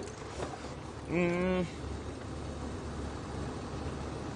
Where else? Yes, no, I think those are my two. Fa- oh, and the little uh, drainage system between Leadwood Road and and Mumba Road. And then on Cheetah Plains, there's no doubt which my favourite area is. It's that that buff skull pan area. And you've got that red soil, those big leadwood trees, magnificent gardenia.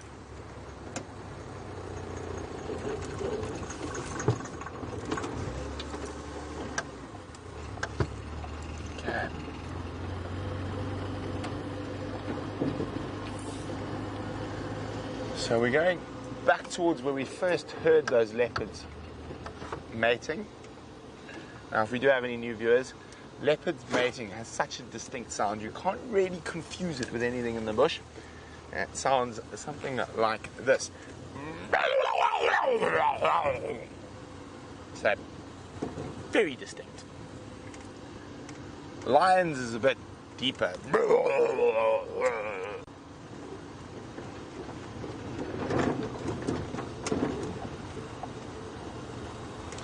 So hopefully we'll find some very active and vigorous leopards uh, in the quite near future. So while we do that, let's go have a look at some not so active little leopards.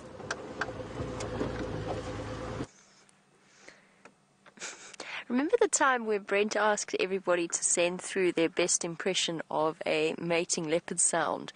And as always, our viewers were terribly good sports and sent through some amazing little videos and screenshots and whatever it was that they sent it through. It was hilarious. But as Brent said, our little leopard cubs are currently, I would describe, we would definitely describe them as flat cats. It's exhausting work doing all of that growing, particularly when you've got a full belly of impala. Time to settle and rest as we wait for it to get a little bit cooler.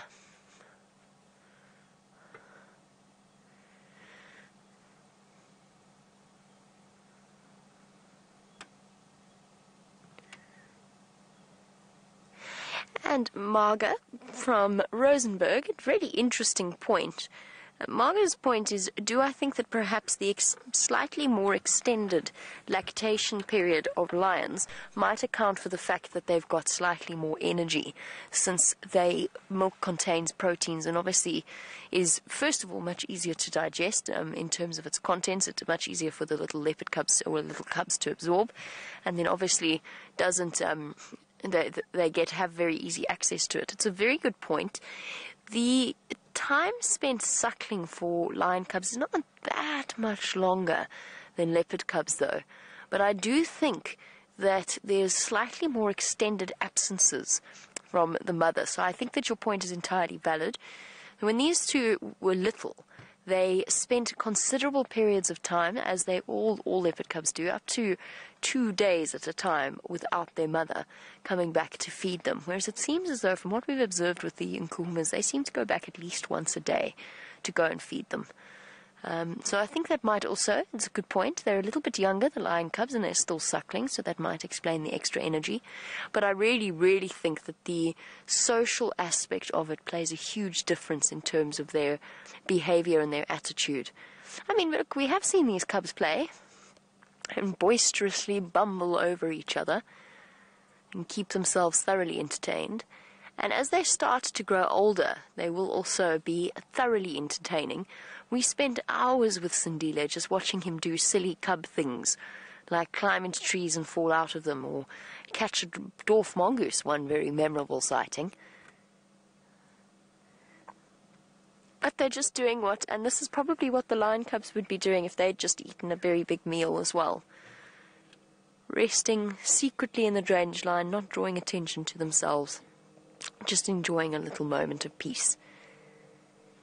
And as it starts to get cooler, and we also see it in their tracks in the roads the next day after they have wandered around and about, and you can see where the cubs have been dashing all over the show, backwards, forwards, over mom's track.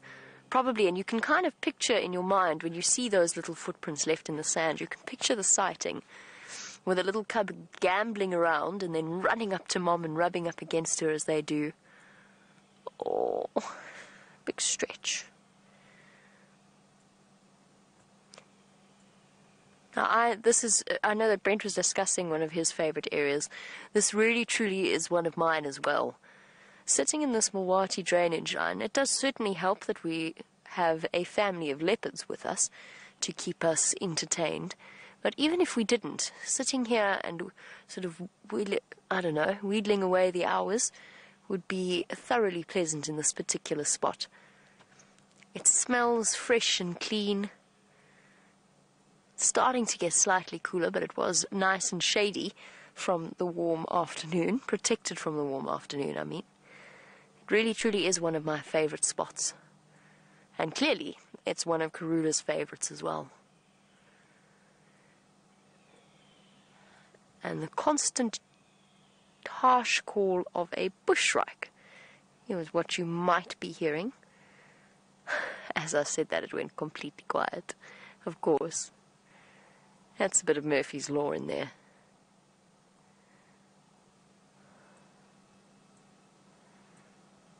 Right, well, since our leopard cubs are being so thoroughly... Oh, we've got a foot movement. Stop the press. We've got some movement. One foot's gone up on a log.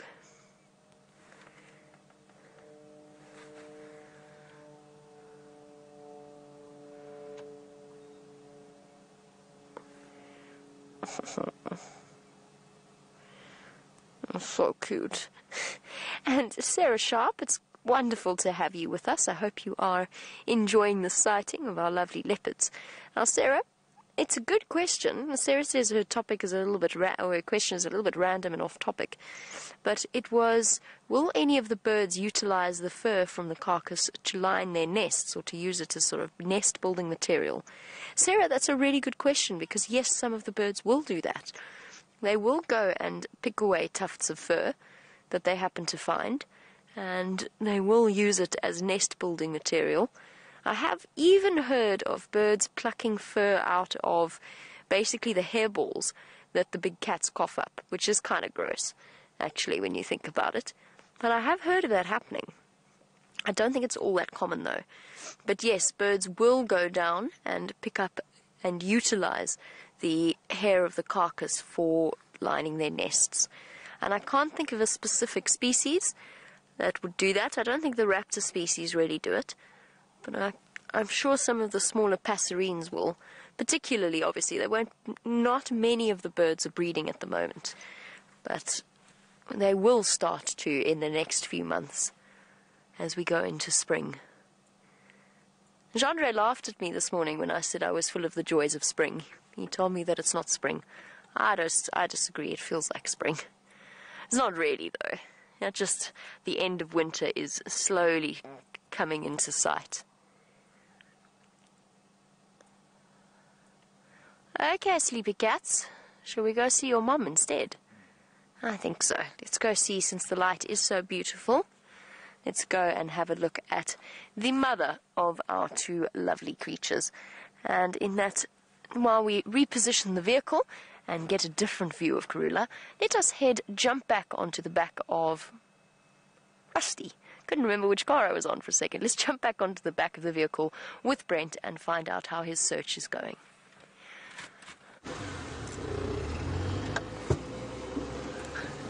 So we're still in search of these leopards. They are giving us a real run around.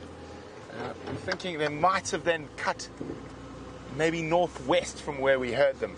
So we're going to go check the top side of Mvubu Road. Fingers crossed. So I just got the report that there's a, another dead elephant in Buffelshoek. So it's going to be interesting to see whether Nkuhuma's head there. With those little cubs, even if they go to that carcass, they might just feed for a day and then get out. The reason for this is because those cubs are so young.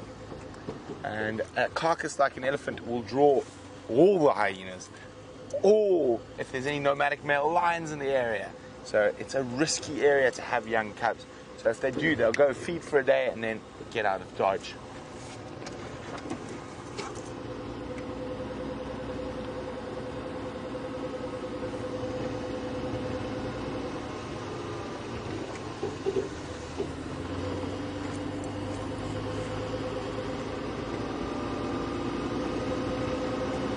So what I might do now, I'm gonna do one last circle of this block.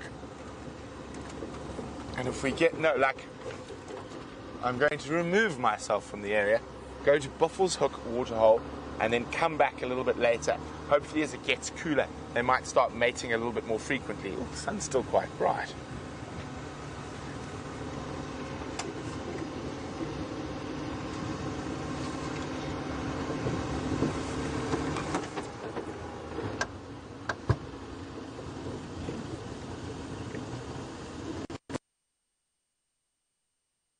Leopards can move big distances, especially if there's a male on his territorial route. So what will happen is he'll be, oh yeah, I'm patrolling, and the female will want to mate. So she'll basically follow him on his territorial marking route, and I think that could be what's happening here. This could be Gijima. So we're, checking a bit further to the west, no luck to the west. I want to check further east towards Buffelshoek and maybe just have a look around the Buffelshoek waterhole. Might be some eddies, just a change of scenery because we've spent the whole drive in this very small area. And maybe those leopards snuck out while we weren't uh, listening carefully.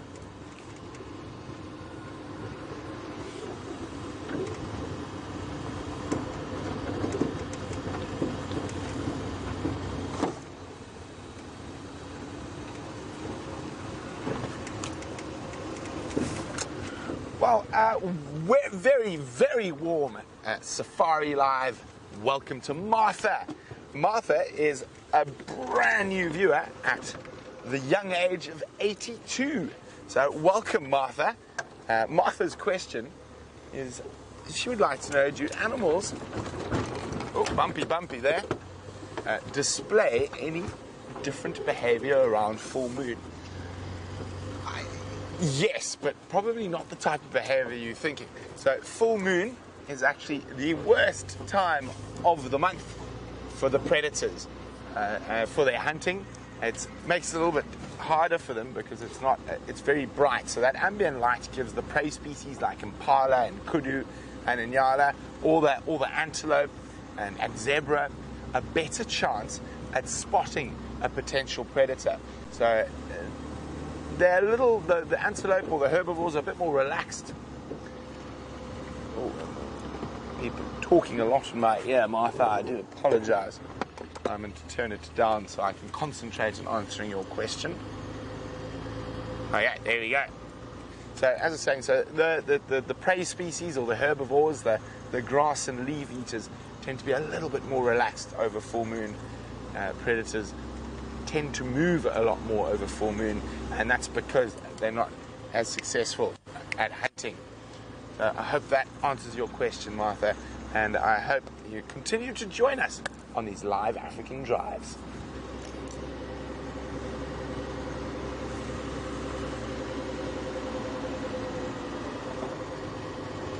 So what I'm doing now is I'm double checking our northern boundary to make sure those leopards didn't skedaddle out.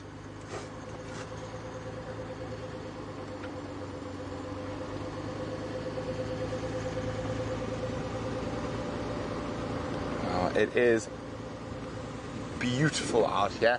Now everyone's got their favorite time of the year, and uh, strangely enough, uh, well, not strangely enough, a lot of people love the summer months. It's green, there are flowers everywhere, lots of brightly coloured migratory birds.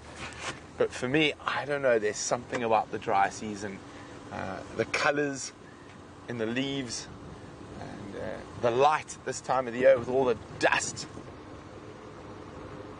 So, don't know, for me, this is my favourite time of year, probably culminating in October being my most favourite month to be in the bush. But we'll chat about why a little later, because I don't want to keep you away from those wonderful little lemons. I couldn't agree more. I think that this is my favorite time of year to be in the bush as well, and you get to enjoy amazing sightings such as this one. Unfortunately, we are going to have to leave at some point relatively soon. I'm just waiting for the other vehicles to get here, and then we will pull out and leave Aubrey and Mike to enjoy this moment. We can't really keep it all to ourselves, can we? And for now, our leopards are not up to anything too active. The cubs are still fast asleep in their little cub puddle, a little bit behind us, and Karula is sleeping off a very full belly. Oh, she's got even more flat now. Amazing. She's practically disappeared. She lies down. Just a twitch of the ear gives her away. This goes to show how tricky it can be to find leopards, especially a leopard like Karula. She's marvelously relaxed on foot, for which we are exceptionally grateful for. But you can walk within 20 meters of her and not see her because she doesn't lift her head. She's so used to people. She might be lying down flat like this, and you could be forgiven for walking straight past her. And while she's sleeping like this, I wanted to just take the opportunity to show you this amazing tree that she is growing next to the tree that she hoisted the impala kill in. Have a look at this. A boerbean tree has been sort of knocked sideways either through elephant action or actually by the line or sort of the, the sand being washed away by flowing water. It looks as though to me the bank has collapsed, but the root system has managed to clutch on because it's entangled in the roots of the tree next to it. So it's managed to stay like that. And amazingly, I mean, this must have happened quite a long time ago because amazingly, when you look along it, you can actually see the branches of, or the, it's basically got new trunks now. It's got two new trunks growing straight up vertically outside of it. Obviously, the, the leaves reaching up towards the sun, so naturally it's grown up vertically. But it is a really interesting example of just how resilient trees can be out here. Now, we often watch the elephants munching away at them, and we wonder how they could possibly be any trees left if each elephant is consuming between 200 to 300 kilograms of food a day. And yet here we go, we've got this tree that is growing up from where it has collapsed almost completely. What do you think of that, Karula? I think she definitely thinks that's the most fascinating thing she's heard in a while. She's clearly intrigued and wants to know more. We've been incredibly fortunate to spend the amount of time that we have.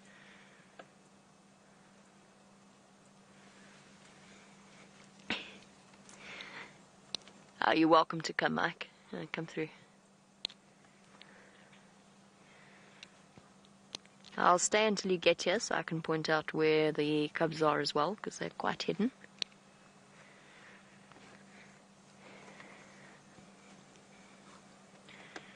Mike just making sure that it's okay for him to come into the sighting. That's something that is standard practice.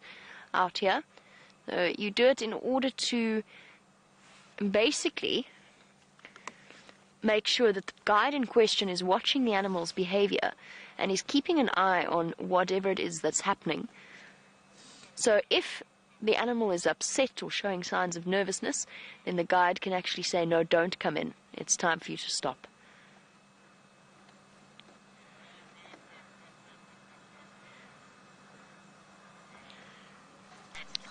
Uh, Mike, if you look to your right as you come through, you'll see the cubs there. Just by the thorn tree, if you look to the right there. The other right. there we go.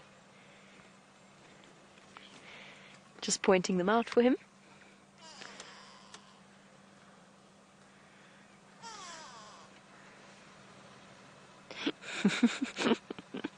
Sorry.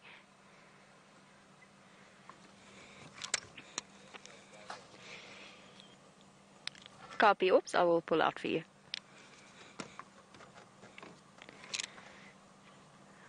So, an awesome sighting has come to an end.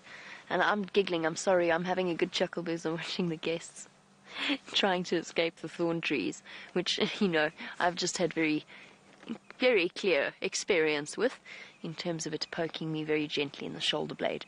Now we'll say goodbye to Karula and her cubs. We will be back first thing on the sunrise safari tomorrow morning to find out if they're still in this area, if the carcass has survived the night in the tree, and if it hasn't, where our lovely leopards have gone. While I try and escape this drainage line system, which involves some interesting driving, I'm going to send you back across to Brent, and he can update you on what his plans are for the rest of the afternoon.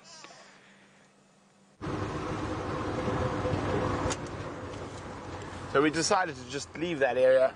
Oh, there we go, well spotted. Not an animal that sits still very long. And that one is not sitting still. No. Oh, wait, there we go. Let's just. Gotcha! Hello, little female duiker. So what looks to be a unicorn is actually a tuft of hair. Or we can pretend that a female duiker is a Djuma's u- it's it's a dwarf unicorn. Definitely. A dwarf unicorn, very rare. And of course, I'm only playing it as a a, grey duiker or daker. Uh, also, sometimes in East Africa they call it a Grimm's bush duiker. The totem animal, animal of the Tswana people. And uh, specifically the Khama family in Botswana. And that's the president, uh, Ian Khama. Now, his great, great, great, I think it's three greats, or could it be four? Gonna have to forgive me a great here or there. Grandfather was being hounded by the Ndebele, which were an offshoot of the Zulu. He decided to escape from Shaka, but there was a big regiment of warriors, and they moved through South Africa up into the north, and then eventually settled in Zimbabwe in a town called Bulawayo. One of their favorite pastimes is raiding the neighbors and uh, attacking them, taking cows and women was the two main reasons for raids. And Chief Khama, who was the, or the king of the, the Tswana people, uh, was got caught out by a, a, an impi, and an impi is like a regiment of uh, Zulu or Ndebele warriors, and he was running for his life across these massive open grasslands that are on the edge of the Kalahari Desert. And in the middle of them, there's these hebeclada, hebeclada thickets, and they basically form like an umbrella. And so a lot of animals burrow in and live underneath there. And Chief Khama dived into one of these thorn thickets, and he just was so fatigued he couldn't run anymore and he was trying to hide from those Indabelo warriors. Here we go, we've arrived at Buffelshoek. And there's one lone hippopotamus. Bachelor Bobber. Although I do fear we have many Bachelor Bobs that use this in timeshare. I'm not sure it's the same one every time. Right, while we look at Bob marinating in the mud of Buffelshoek waterhole. I'll finish the story on Chief Khama. So he dived into this acacia thicket and was lying very still at the base. And he was convinced that the Indabele warriors were going to find him. And what happened is he saw a little duiker in the thicket and it didn't run from him. So basically, the Indabele warriors ran around and they knew he must be close, putting spears into the thickets, and they got to the thicket that Chief Khama was hiding in, and the duiker burst and ran out. And then Ndebele said, Well, he can't be hiding in there because the little Munti, or Punti, Puti, Puti in, in uh, has, has come out of there, so he wouldn't be hiding there. But of course, he was, and he survived, and eventually went on to get help from none other than David Livingstone's father in law, who ran the mission at Mafeking. And there we go, Jean Reyes following some blacksmith lapwings who seem to be chasing a little three banded plover. I'm not sure why, but that lapwing has decided it really wants to chase that three banded plover. Lovely camera work, Reyes. Where's the poor little three-banded plover? Oh, there's a Cape turtle dove having a drink.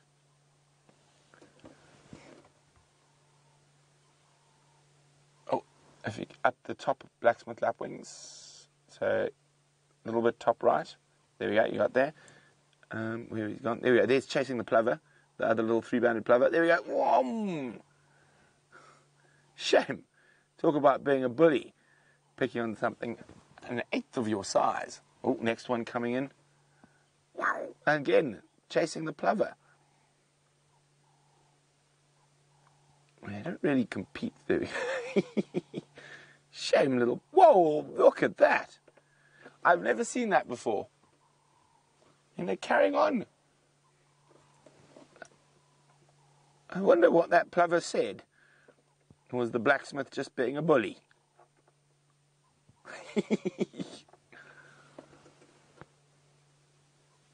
they're behind the tree now.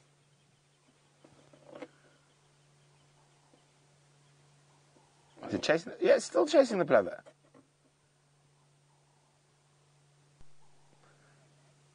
That poor little three-banded plover might as well choose another waterhole to go. Oh, still going.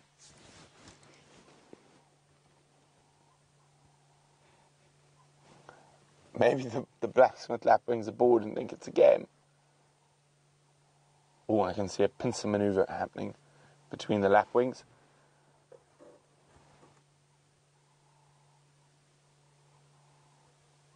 Well, it looks like they're tired of chasing the poor little three-banded plover now. I didn't see if he landed or he... No, they're still chasing it at the back. Shame. Are they zoom center frame? I'll follow that, yeah. Yo!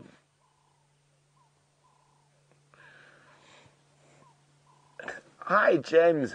Duncan, he says perhaps the lapwings have a nest there. It is possible, but uh, there's no reason to chase a little three-banded plover. It poses no threat to their nest at all. And also, when they chase things from their nest, they're quite vocal.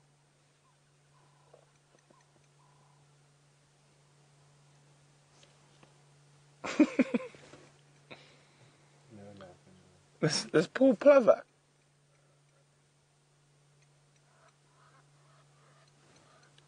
Or maybe that I can hear some geese flying in, but we're going to stick with the, the lapwing plover. It's almost like a ballet. You almost imagine running on tiptoes.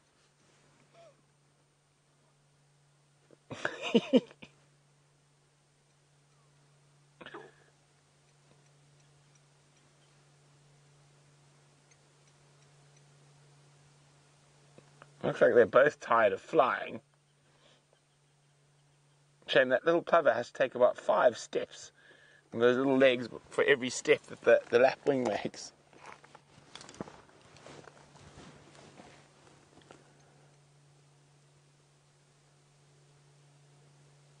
Oh, has the plover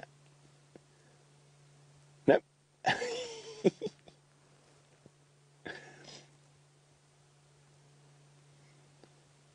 there we go.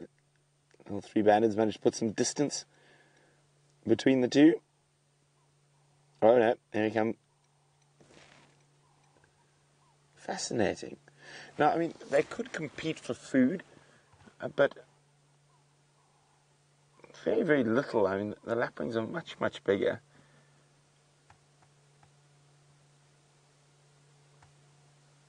Shame.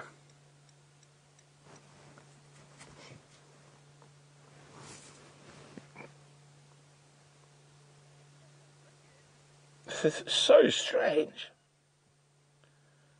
Oh, lapwing stopping for a snack.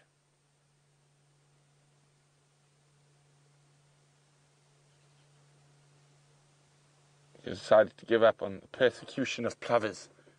No. Plover persecution continues. Just needed some uh, mid persecution snacking.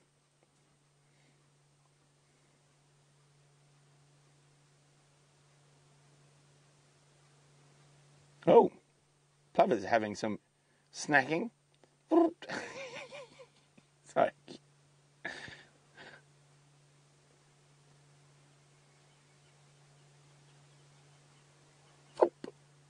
Have you escaped, Papa?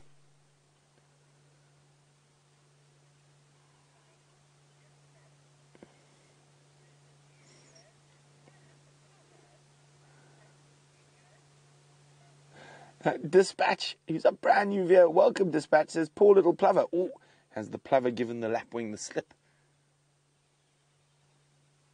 He's running the wrong way. The, the plover went the other way, Chief.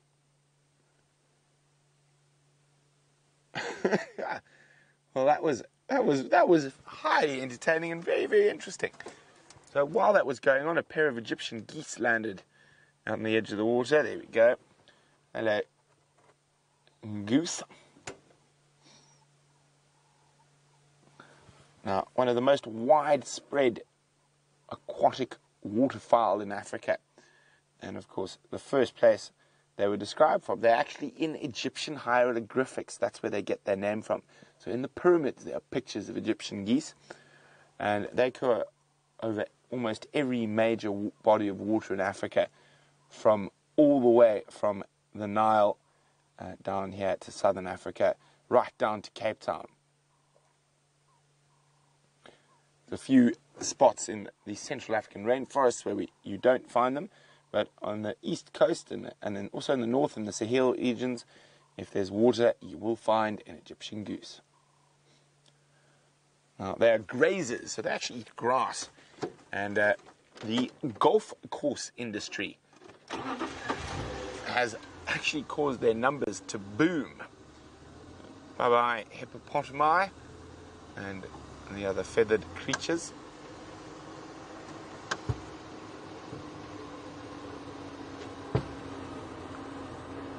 So, on every golf course in Africa, you will find probably 100 pairs of Egyptian geese. The lovely manicured fairways are perfect grazing platform for the Egyptian goose.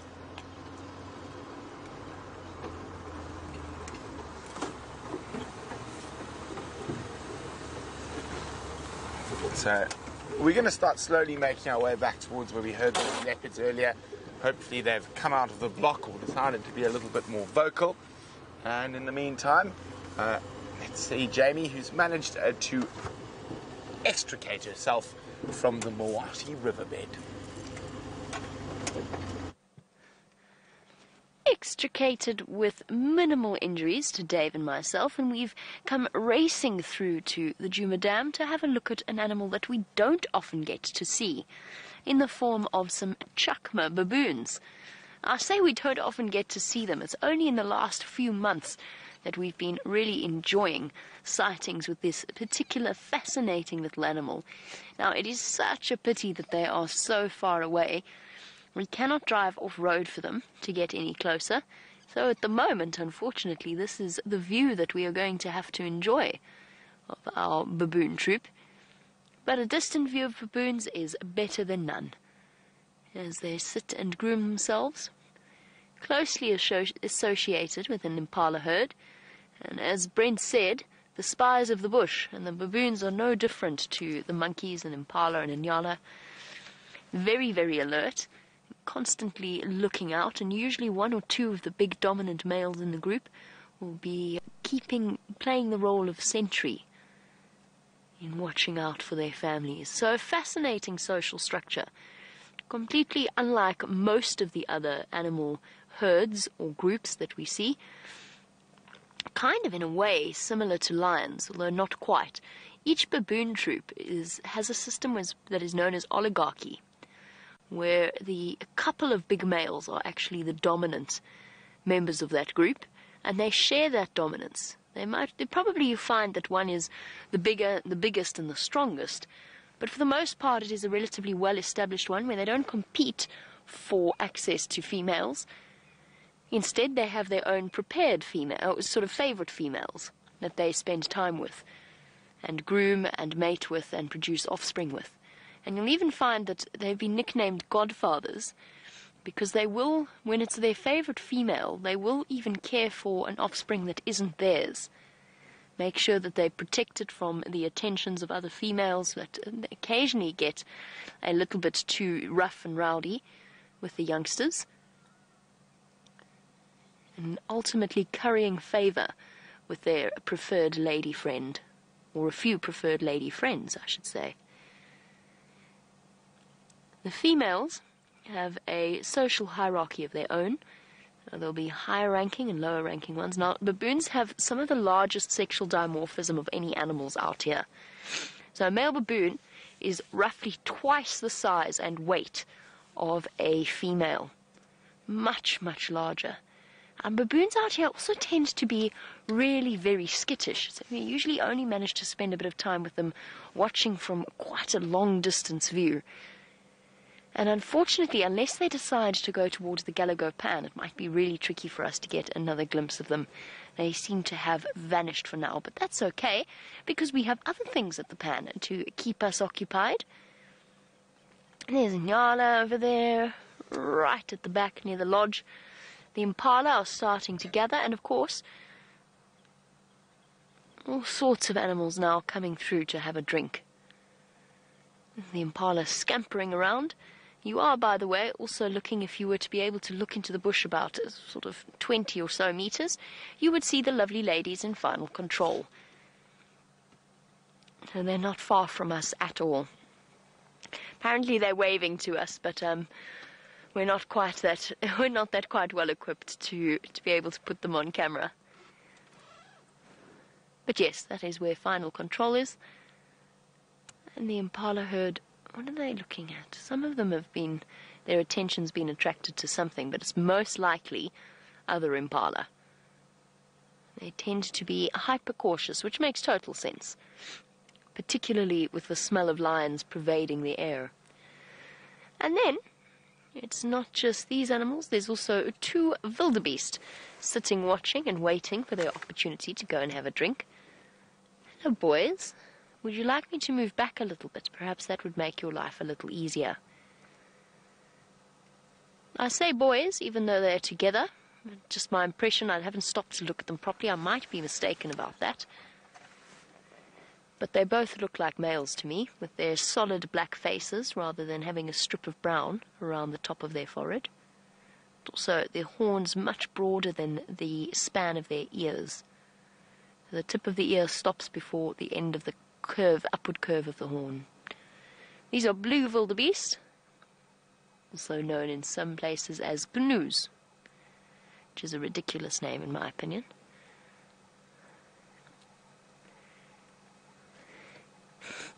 Now, unfortunately, as much as we would like it to be, I do not think that this is Normalus nor- Norman, or however on earth you say it, and normal Norman, joining up and joining forces. We're a little bit far from Cheetah Plains for it to be whatever his name is, Normalus Norman. Goodness. Brent and his naming. Those were Brent's names for his wildebeest. but no, I don't think that this is normal Norman oh, excuse me, and Normless Norman joining forces. Hello, boys. I was going to try and move backwards to make their passage to the water a little bit easier because I think they're nervous with us here. So what we'll do is we'll actually go forward and turn around so that we're not blocking their view to the dam.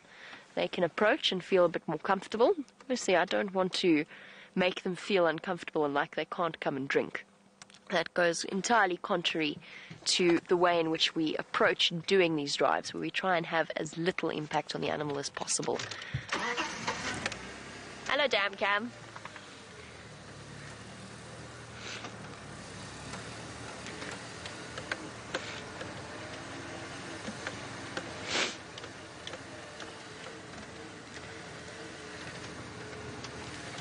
And a lovely message coming through from Dispatch, who is a new viewer. Now, Dispatch has put up a screen grab of the impala and the baboons together and has said how amazing it is how there's such a diverse number of species that are able to coexist and sort of help each other out. And that's exactly right. Of all of the animals that you find with baboons, it's very, very common to find impala. First of all, its many eyes means extra safety. There you go, boys. Is that a little bit better? It is indeed two males, just by the way. So dispatch absolutely. And what you'll often find is when during the fruiting season and the jackalberries are starting to get fruits, what the baboons will do is they'll go up into the trees and forage, and the impala will hang around underneath them to pick up any of the fruit that they happen to drop. Oh, panic.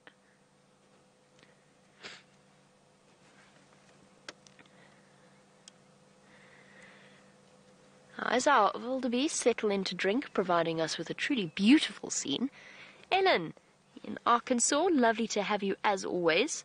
You wanted to know whether or not the baboons would ever attack the impala or any of the other animals. Not at this time of year, Ellen. It's relatively uncommon. So baboons are fascinating, and I'm sure this is what you're thinking along the lines of, in that they are they're omnivores that are capable of hunting, particularly the big male baboons. A couple of big male baboons with canines longer than Karulas are a fearsome team, and some baboons have learned to hunt. In the lambing season, they can potentially snatch up and grab a baby impala. There are records of it happening. Sorry, I was just struggling with the dust and the allergies. that was a very short drink. Evildees? Are we done already? I really enjoy spending time with wildebeest. They're fascinating animals. So, Ellen, yes, there is a chance. It's unlikely, especially at this time of year. But with brand new lambs, there are certain baboon troops that have learned to hunt them as a potential food source. And I have never seen it myself, but I have seen photographs of it, and I can imagine it's actually quite heart wrenching to witness because there's that trust level between the impala and the baboons that then gets completely, obviously, undervalued. There's even a case recently, and I mean this is a total exception to the rule, of a warthog killing a baby impala. Now, we don't know what provoked that. We will never know what provoked that, but it did actually settle down and feed on it a bit.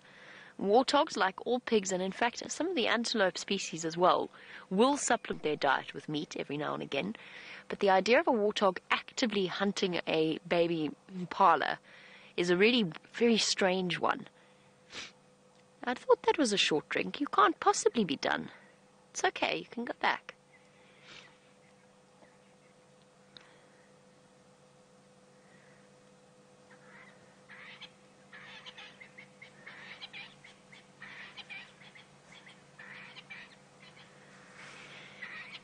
Now, speaking of baboons, I know we're looking, watching the wildebeest, but we've got lots of baboon questions because we don't often see them. We have a lovely question from Michelle, which is why do the baboons walk with their a sort of a third of their tail upright and then two thirds drooping down? And that's a very valid question. The interesting thing about that, Michelle, and I don't know 100% how one goes about it, but you can actually age a baboon by looking at the portion of the tail that droops. So the older they get, from what I understand from my reading, the older a baboon gets, the more the tail starts to droop in a strange way. So once they are adults, they are they've got that sort of stiffened portion. As to why it is structured in that way, are we're having a roll. Let's go forward a bit. Wondered where all that dust came from all of a sudden. I was going to ask Dave how he managed to get his his lens so dirty. Ah, awesome. Yay! Look how much fun this wildebeest is having. Sorry, Michelle, we'll get back to your question in a moment. I love watching them do this. He even rubbed his preorbital glands on the ground first. Oh, there he goes, doing it again. Is he going to scrape his feet for us as well? And I think what we have here is this is the territorial bull. The territorial male wildebeest, and they do hold their own territories. However, I think he's tolerant of the other male because the other male is behaving in a submissive manner, not marking territory. It's much smaller than he is, and I think that's the reason. It often, often wildebeest do reach a bit of a truce around a waterhole or a water point, so they'll allow others, other males, to come in and have a drink, as provided they don't start marking territory or anything like that. Oh, and there's even some dwarf mongoose for those of you who are eagle-eyed. They're settling down for the night keeping a close eye on the comings and goings of the waterhole. Oh, the stories these dwarf mongoose could tell, I'm sure. The things they've seen happening around the Djuma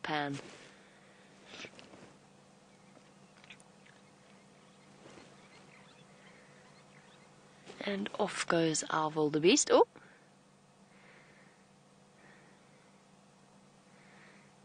All the dwarf mongoose disappearing. One head popped out briefly. And off our he goes. Into the vegetation. Michelle, back to your question now that our wildebeest are disappearing on the subject of the baboon's tails, which are, of course, very different. They're not as I know what you're trying. I know what you're asking because really they're not like monkey tails at all. At all, are they? The monkey tails give off an impression of dexterity and almost being ut- utilized as an extra limb. A baboon's tail is not quite like that. So they've obviously evolved differently, and they obviously don't use their tails as much in terms of an assistant in terms of climbing and balance and holding on in the way that monkeys do. That's interesting. It's a good point that you raise. I don't know why it is that the baboon's tail kind of goes and then droops down. Um, perhaps it's just the design of the baboon, it's much more balanced that way. And as with any animal, it plays a very, very important role in their social communication, but it's definitely not as movable as a monkey's tail. And just like that, everybody's gone.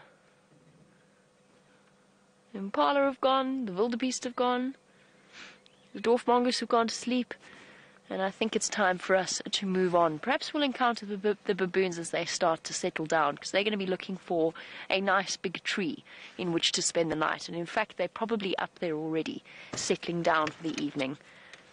Just going to wrap a scarf. It's starting to get chilly. And while I add a few layers before we set off on our search, let us go back onto the back of Rusty and see how Brent's evening is going.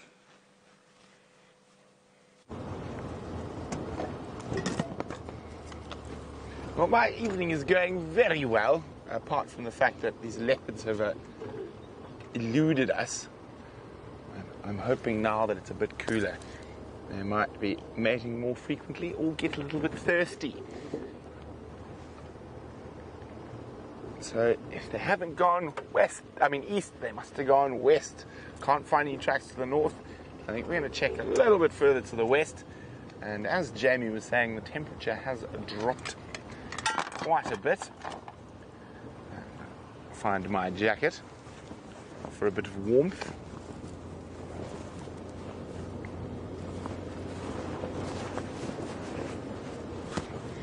Now, Jamie's been sitting at the Djuma Dam, so if those leopards were around here, she probably would have heard them. So I think we need to expand our search.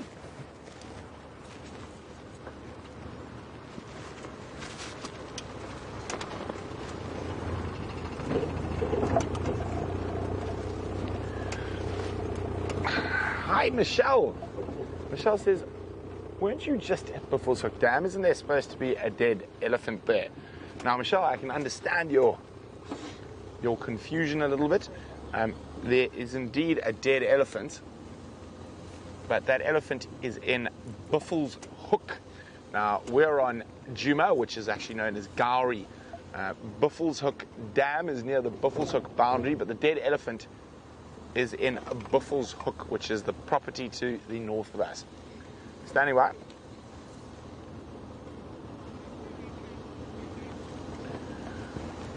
I'm gonna do Mvubu shortcut off shortcut Gallagher.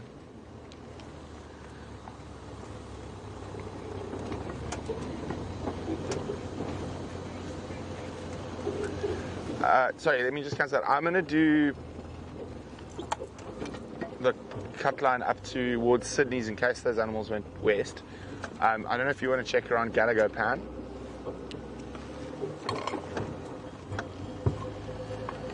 Okay, so Jamie's joining in in the hunt for the mating leopards.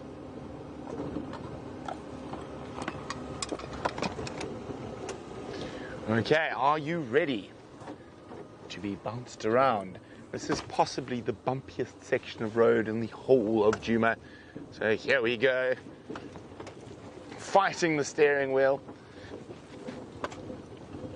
Of course, it's not so bad for me sitting in the front seat here, but poor camops, they get thrown around a bit. Jean says it's like a massage. Uh, I think the massages you've had in your life are slightly different to the ones I've had. I'd say that's more like someone punching you in the kidneys.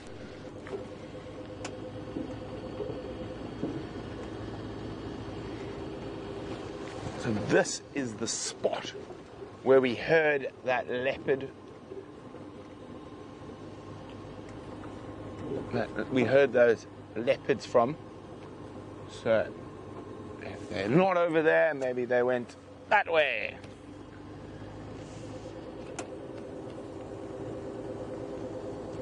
Now, the positive thing about mating leopards is that even if we don't find them this evening, there's a really good chance they're going to be around tomorrow.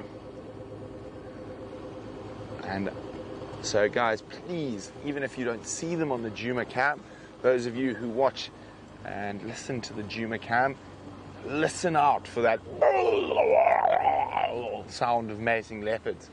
And remember to let us know before the sunrise safari starts give us a good idea where to go start looking.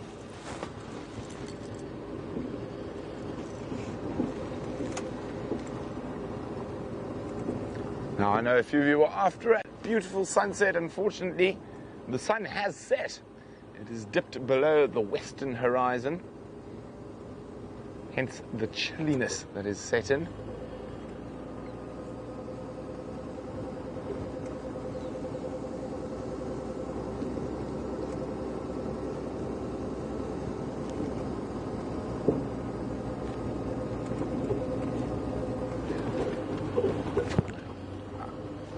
Hi, uh, Shamsan. Shamsan is asking whether I've checked my camera trap. I did. Unfortunately, all that was on it is a Nyala, but I have it with me again, and we will look for a spot to put it out tonight. You see a hyena? Oh, that's on the other camera trap, so I've got two. Uh, it's not the best video, so we're actually not going to share it just yet, but we're planning uh, to reposition it slightly. And uh, occasionally, if uh, people like Chandre forget to put the dustbins away in the kitchen uh, and they leave the dustbins out, uh, Howard, now Howard is a generic name for all hyena, all hyenas are Howard, Howard the hyena, comes in the dark of night. And it was actually incredible. You could see how strong a hyena was. Those big black dustbins she had it by the bottom lip. So she had it like that and had it clear off the ground and was running out of camp with the dustbin in her mouth. So we're hoping to get some good footage of that. Or even just the hyenas are wandering around camp at night. Once everyone goes to bed, they come to see if we've left a mess for them to scavenge off.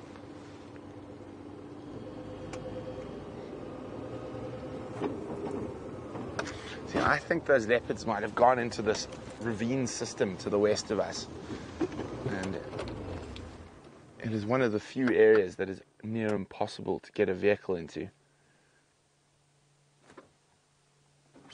Worth maybe just listening for a few seconds here.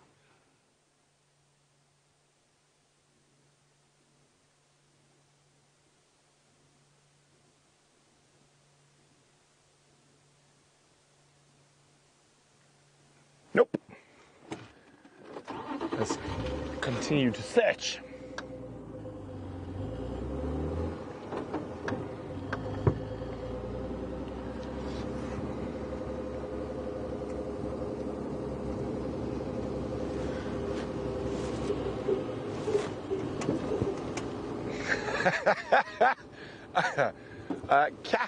Tampa says, "What is dustbin?" Well, cat, uh, what would you call it in America? Trash can. a garbage can, a trash can. A, uh, yeah, so uh, that is what we call a dirt bin. Oh no, that's probably also. Dustbin or dirt bin are very English ways um, of uh, talking about a trash can.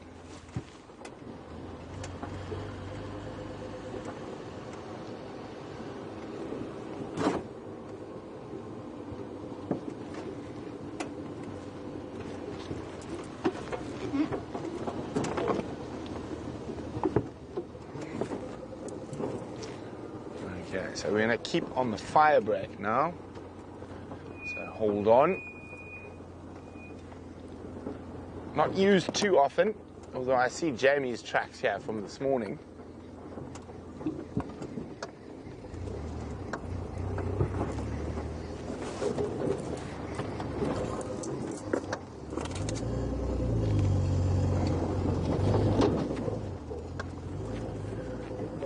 Okay, so while we continue our search for the mystery mating leopards, I wonder what Jamie's up to.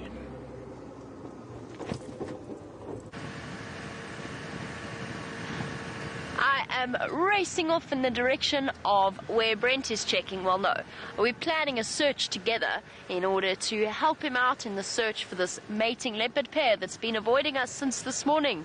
This morning I was sitting with Dave at Sydney's Dam. And I just turned my engine on and I heard, you know, those funny mating. Dave's laughing at me. Um, those funny mating leopard sounds that they make. But I wasn't sure if it was lions or leopards. And I sat for a while and I thought, okay, because it's taking them so long, it's probably lions. Because leopards, especially first thing in the morning, tend to mate with a greater frequency. Now we know. They've been wondering about. They came through from Buffelshoek onto Djuma. And I think. Oh, hold on. Ah. It sounds as though they have crossed everybody, unfortunately. Just got that update from Brent. He's heard them, and it sounds as though they've gone wandering onto Buffelshoek. Oh, so what a pity. Never, never mind. There's still some lions hiding somewhere in here. We'll go and search for them instead. Now, just to go back to our World Tiger Day and the celebration of all animals, great and small, I just wanted to use this as an opportunity to say that I think that Safari Live as an experience is an incredibly valuable tool in conservation. And that I mean by that is by bringing real life stories to people across the globe so that they can watch the animals, become attached to them, and actually become invested in saving them and providing for their future is a really, truly wonderful tool of conservation. So, for all of you out there, particularly our new viewers, because I know our regular viewers are so, so good at doing this already, and they definitely don't need me to tell them this. But for our new viewers, if you are enjoying the live safari experience, please, please tell all your friends, let them know, so that we can spread the amazing word of the incredible creatures out here as far and as wide as possible. Because the more people watch, the more they get a true concept of the way in which the animals of Africa truly work and function, and just how important it is that we invest our energy in protecting them. And that, I think, is where, as wonderful as Safari Live is in terms of bringing stories and characters, that is where its true magic actually lies. And of course, bringing joy to people across the world. To be able to sit for two hours and watch leopard cubs, how spoiled are we? And I would hope that one day the next generation and the generation after that will be able to grow up with the same privileges that we've had. Not something that we would ever want them to lose the opportunity of enjoying. And we're very fortunate to be in an area as protected as this one is. What I also think that it does is it raises awareness as to what is what is right and what is wrong in terms of filming animals and the amount of respect that one should have for them. On World Tiger Day, we might not have any tigers, although I do think we get new viewers every now and again that are a little bit disappointed at the lack of striped cats and somewhat surprised since they aren't truly aware of exactly where we are. Um, we're sorry to disappoint you for those of you who want to see tigers on World Tiger Day, but we do have some amazing animals of our own. And World Tiger Day is just an opportunity for us to think about the bigger picture. Not that most of you don't. I know that our viewers are all like minded in that respect, like minded in their love and their desire to protect and to help the animals of Africa and around the world.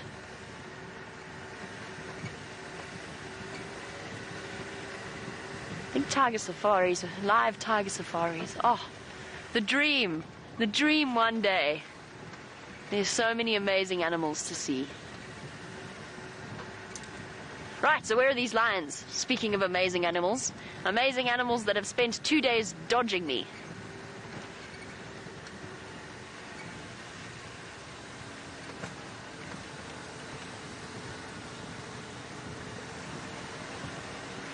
And that's a wonderful message coming through from Vic.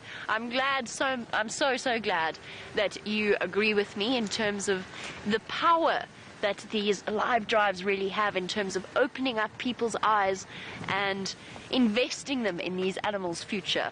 I'm glad Vic is a new viewer and he agrees with my idea of what Safari Live is all about. And it's why I will remain committed to the Wild Earth team because I think that we have, what we have at the moment, is pure magic. And I still remain convinced it's also the best technology use of that has ever been. Okay, maybe that's a slight exaggeration because there's lots of amazing technology things out there. But this is definitely one of the best uses I can think of putting all kinds of incredible minds together to bring a live safari from the middle of the African bush. And sometimes the days are frustrating, and sometimes they're wonderful, and sometimes things go our way, and sometimes it doesn't. It's the joy of live wildlife filming when we say, Dave, there's a bird, and Dave goes, Where? There. Where? Oh, it's flown away. Never mind. Which is entirely our fault. I'm not in any way criticizing Dave. Or the animals evade us, as the lions have done with me for the last two days. Nice surprise with our elephant sighting this morning. But you never know what's around the next corner. To coin a phrase that was, I think, originally coined by the wonderful Hayden Turner. Right, well, no more waxing lyrical from me. I'm going to continue on. And Brent can continue the profound statements of the beauty out here with his lovely view.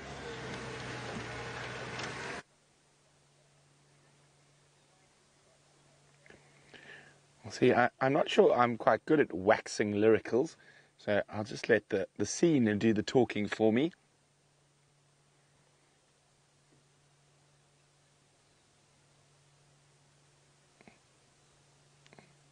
So Haley was asking for a, a sunset, so we couldn't give you the sun setting, it had already disappeared. But we'll give you a wonderful silhouette of the Drakensberg Mountains.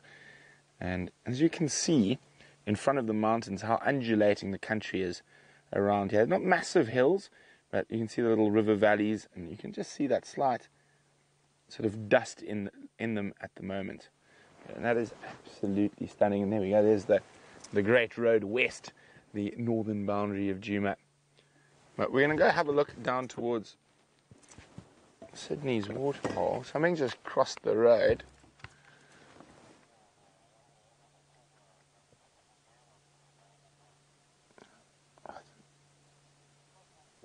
What is that?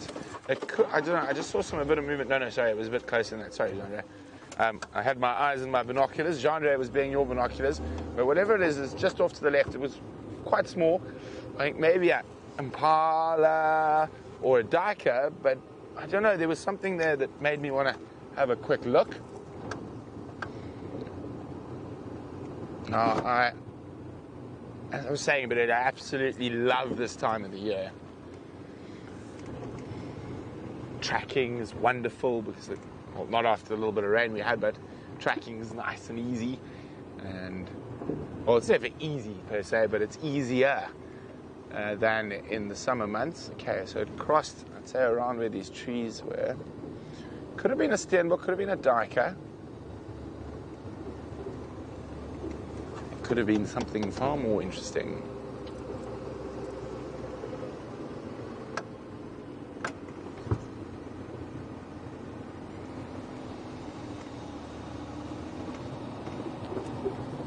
Definitely enough to sort of perk my interest. You got something? It's a duiker. Eh? Oh dear, there it goes. Oh dear. They do, oh, they often are the ones that get us and especially in low light and night, because their movements for an antelope are quite cat-like.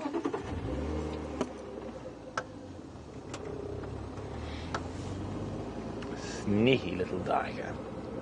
But maybe something is enjoying the open area. Oh, we're going to try, Andre, before it runs. There we go. There's the sneaky little duiker. Oh, it suddenly realized it's been spotted. It's another little female. A little tuft of hair between her ears.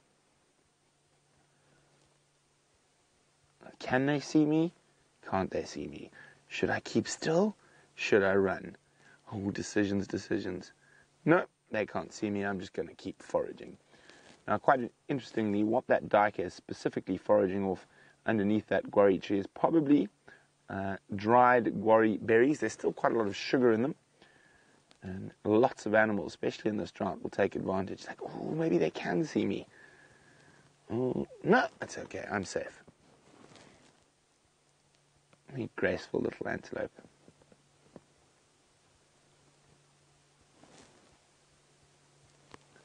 This is that incredible time of the day, and sort of the changing of the guards, where your diurnal creatures go completely quiet and your nocturnal creatures wake up. I mean, listen, there's almost not a sound. If we keep quiet, there's literally not a sound.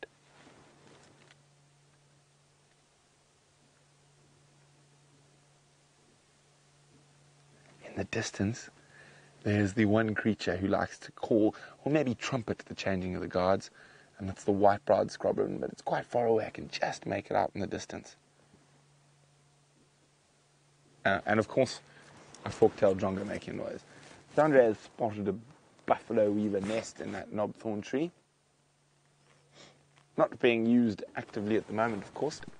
Summer's around the corner. So what I'm going to do is, once it's dark, a little later, I'm going to listen again and, and see if we can find, if we, we make it through the changing of the guards to hear the nocturnal creatures.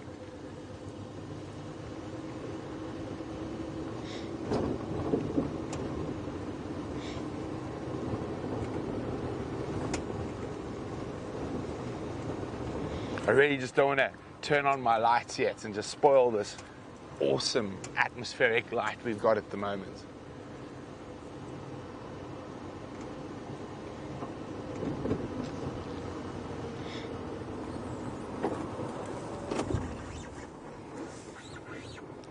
having a quick look at Sydney's waterhole.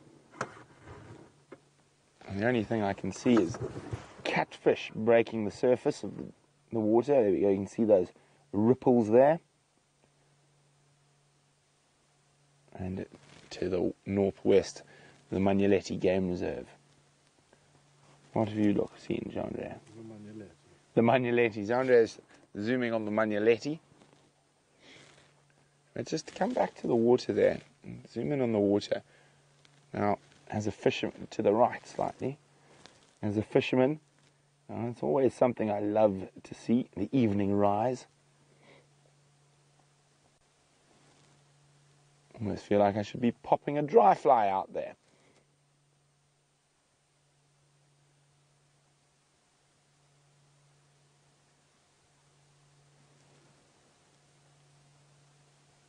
Oh, okay, well, nothing happening here, so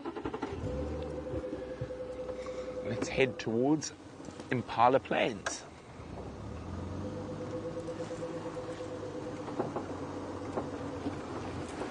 So while we keep moving through the western sectors of Djuma, let's find out how Jamie's trip. Well, she's also, suppose she's in the north, northern central area of Djuma.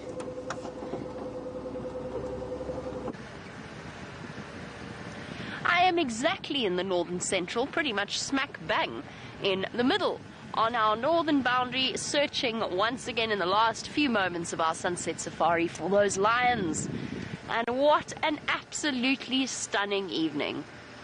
And I love the way that Brent described it as a changing of the guard from the daytime animals to the nighttime animals. There's this sense of expectation in the air and an excitement. And I don't think it's just well, perhaps it's a very human thing because there's all kinds of exciting prospects.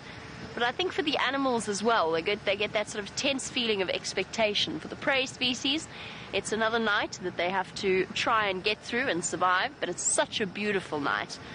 It's nice and still. It's a night for the prey species rather than for the predators. And then, of course, the predators are coming out starting to stretch their limbs, give a couple of big yawns and a couple of licks of the paw, and then moving off into the night.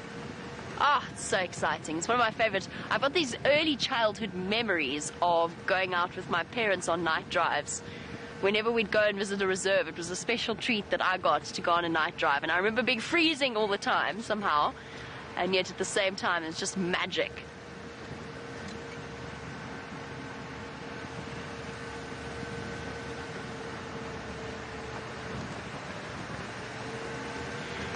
And Andrew from the Ukraine, it's lovely to hear from you once again. Andrew would like to know if I've ever heard of tiger canyons in South Africa. I think I know which which particular tiger. It's a sanctuary, right? Or a sanctuary in in South Africa. I use that term loosely because I don't know much about it. Um, Andrew, I honestly don't know all that much about Tiger Canyon.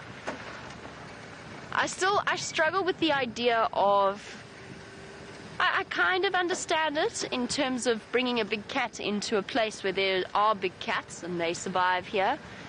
But it's not really where they belong. But if we can keep them safe here, I suppose it is a different story. It's a grey area for me.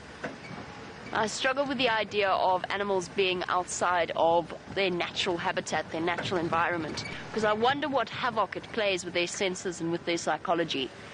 But I don't know. I don't know enough about it. I don't understand enough about it. Graham put up this amazing article that I read recently, which basically was a a scathing report on scientists and how far back this approach has put us in terms of understanding animal behavior. But basically, the idea that by making this idea that anthropomorphizing an animal is is not a good thing. You can't you can't put human emotions to them. It would be ridiculous to suggest that. I think the quote was, "People are people and animals are animals," and that was the idea that animals don't have these feelings.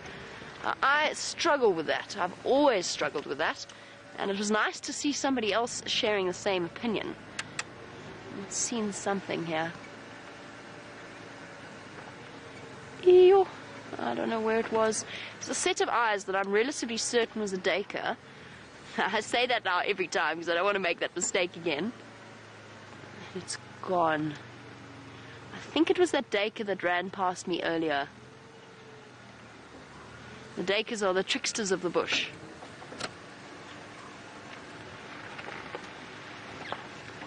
I think it must have been. If it were a little mystery cat, it was something low to the ground. If it were a little mystery cat, we would have see it would have stuck around. They don't tend to run away when there's at night when there's a spotlight. They tend to freeze and remain anonymous. I'm turning off all my lights, making sure all my lights are off. Hi guys. Hello, hello. Bye. Aubrey and his guests. A very merry bunch, from what we hear from our camp next door.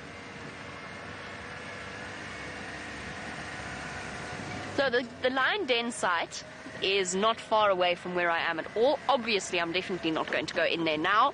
They are very, very tiny cubs, so I'm not going to go in and spotlight them. I'm basically just hoping to catch a glimpse of Mom as she returns to feed them. So Herbert found it just tucked away in this drainage line that runs parallel to a road called Gari Cut Line. Those of you who are familiar with it, you'll know where I mean in terms of our proximity to the dam. So keep an eye on the Djuma Dam camera tonight. There's a very good chance that the lionesses are going to come and drink from it. Even though there's lots of groundwater still around, it's starting to get muddy and a little bit brackish almost. And they might decide that the Djuma Dam is a much better prospect to go and drink from. The den site, from what Herbert described, is right in here.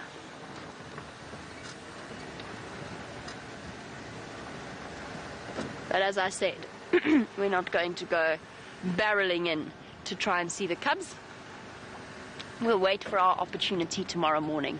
We'll check up on them tomorrow morning, although Herbert says it's very difficult to get a vehicle in there.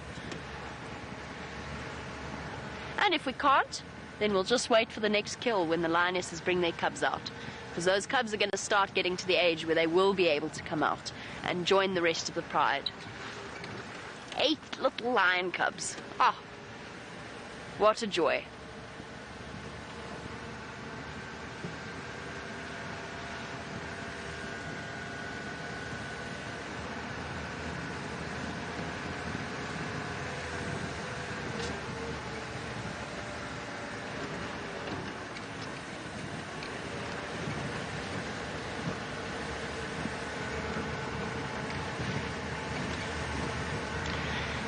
And as we enjoy the beauty and the stillness of the evening air and the smells of the African bush in the winter, it comes time for us to say goodbye to you all and to do our thank yous.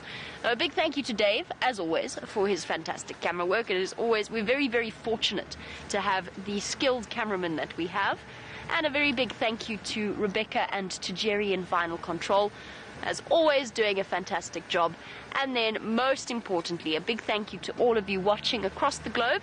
And don't forget to celebrate World Tiger Day in whatever way you can, just appreciating the magnificence of the creatures around us. I will catch up with you tomorrow morning on the Sunrise Safari, but for now, I will say goodbye and thank you once again.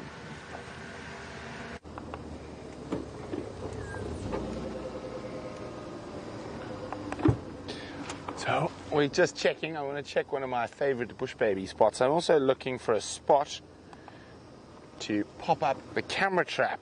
See if we can find any. Oh no, no, wrong button. Uh, nocturnal critters. And there's some nice paths around. what do you think, Jean Should we put it up on one of these elephant paths coming up? There's civet, white-tailed mongoose in this area, possibly serval. And there we go. So remember, today is International Tiger Day. We only have one, or actually two creatures out here in southern Africa uh, that share a name with the tiger. That is, of course, the tiger fish, one of my favorite critters to catch on my fly rods. And uh, then in Afrikaans, there is another creature called the Tierboskat. So translated means the tiger bush cat. And that is, of course, a serval. Uh, we're hoping to catch a deer boss gut on the camera trap. I think, where do you think? Down. Should we put it on the edge of quarantine somewhere?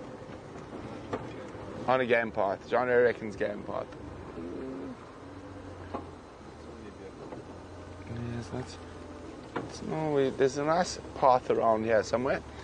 But as we're saying, we're going to be looking for the Tierbos gut on the camera trap. I think there's a good game path. So there we go. There's a really nice game path going off there. So I'm going to pop it on that tree there. So, Genre, may I have a, a cable tie, please? I will. So I might keep, I might be off the vehicle. So Genre might have to tell me um, when. Oh, yeah. Okay, let's get that right. Thank you.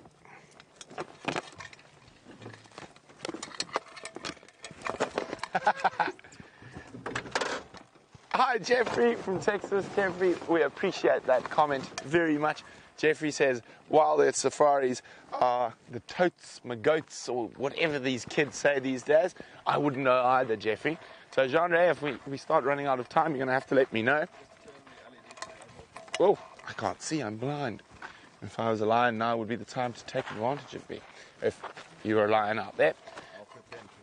And Chandra will pretend to warn me. So we're just going to pop this up quickly. Uh, as I say, it's been magnificent, and I'm sure you guys had a wonderful time with Jamie and uh, Karula's wonderful little creatures. So I'm just going to get this all set. And I'm hoping that they'll still be there in the morning. There's not much of that kill going to be left, but they could still be enjoying. I'd also keep an eye on the Djuma Dam cam for Karula and those mating leopards because they either of them could make an appearance. Also, Nkuhuma lions are somewhere around this area, so they could also make an appearance. So keep watching and remember, send us through all those updates in the morning, and you can do that by using Twitter and the hashtag Safari Live, or you can. Oh dear, it's too short, my chain. Hang on a second, sorry about that. Um, or you can pop an email to questions at wildearth.tv. So we will be out and at it again on the Sunrise Safari in a few short hours. And I know a lot of you will be ecstatic to hear that Commander Bond and shall be returning shortly, uh, I think on Sunday. Uh, so James will be back, and it'll be great to have him back in camp uh, as his great entertainment as always. Jean, how are we doing for time? About a minute. Oh, we got about a minute. I, I, I thought I was yakking uh, too long. And oh, there we go. Camera trap up. I don't know if you can see me hiding between the tree here, and let's cable tie it on. One should suffice. But I'm hoping we have a little bit more luck hunting for those mating leopards tomorrow morning. As I said, there's a good chance they're still going to be around. Now, this is a presenting and putting up a camera trap and doing a closing is a little bit more difficult than I thought it was going to be. Uh, hopefully, I will manage. 30. 30 seconds. Okay, there we go. Am I going to manage? Oh dear, I think, no, I didn't put the cable tie the wrong way around. But as I said, uh, thank you for joining us on Safari Live, and we can't wait to do it all again bright and early tomorrow morning on the Sunrise Safari. So from Gendre, the Oompa Loompa, myself, and the rest of the Safari Live team, we'll see you very soon.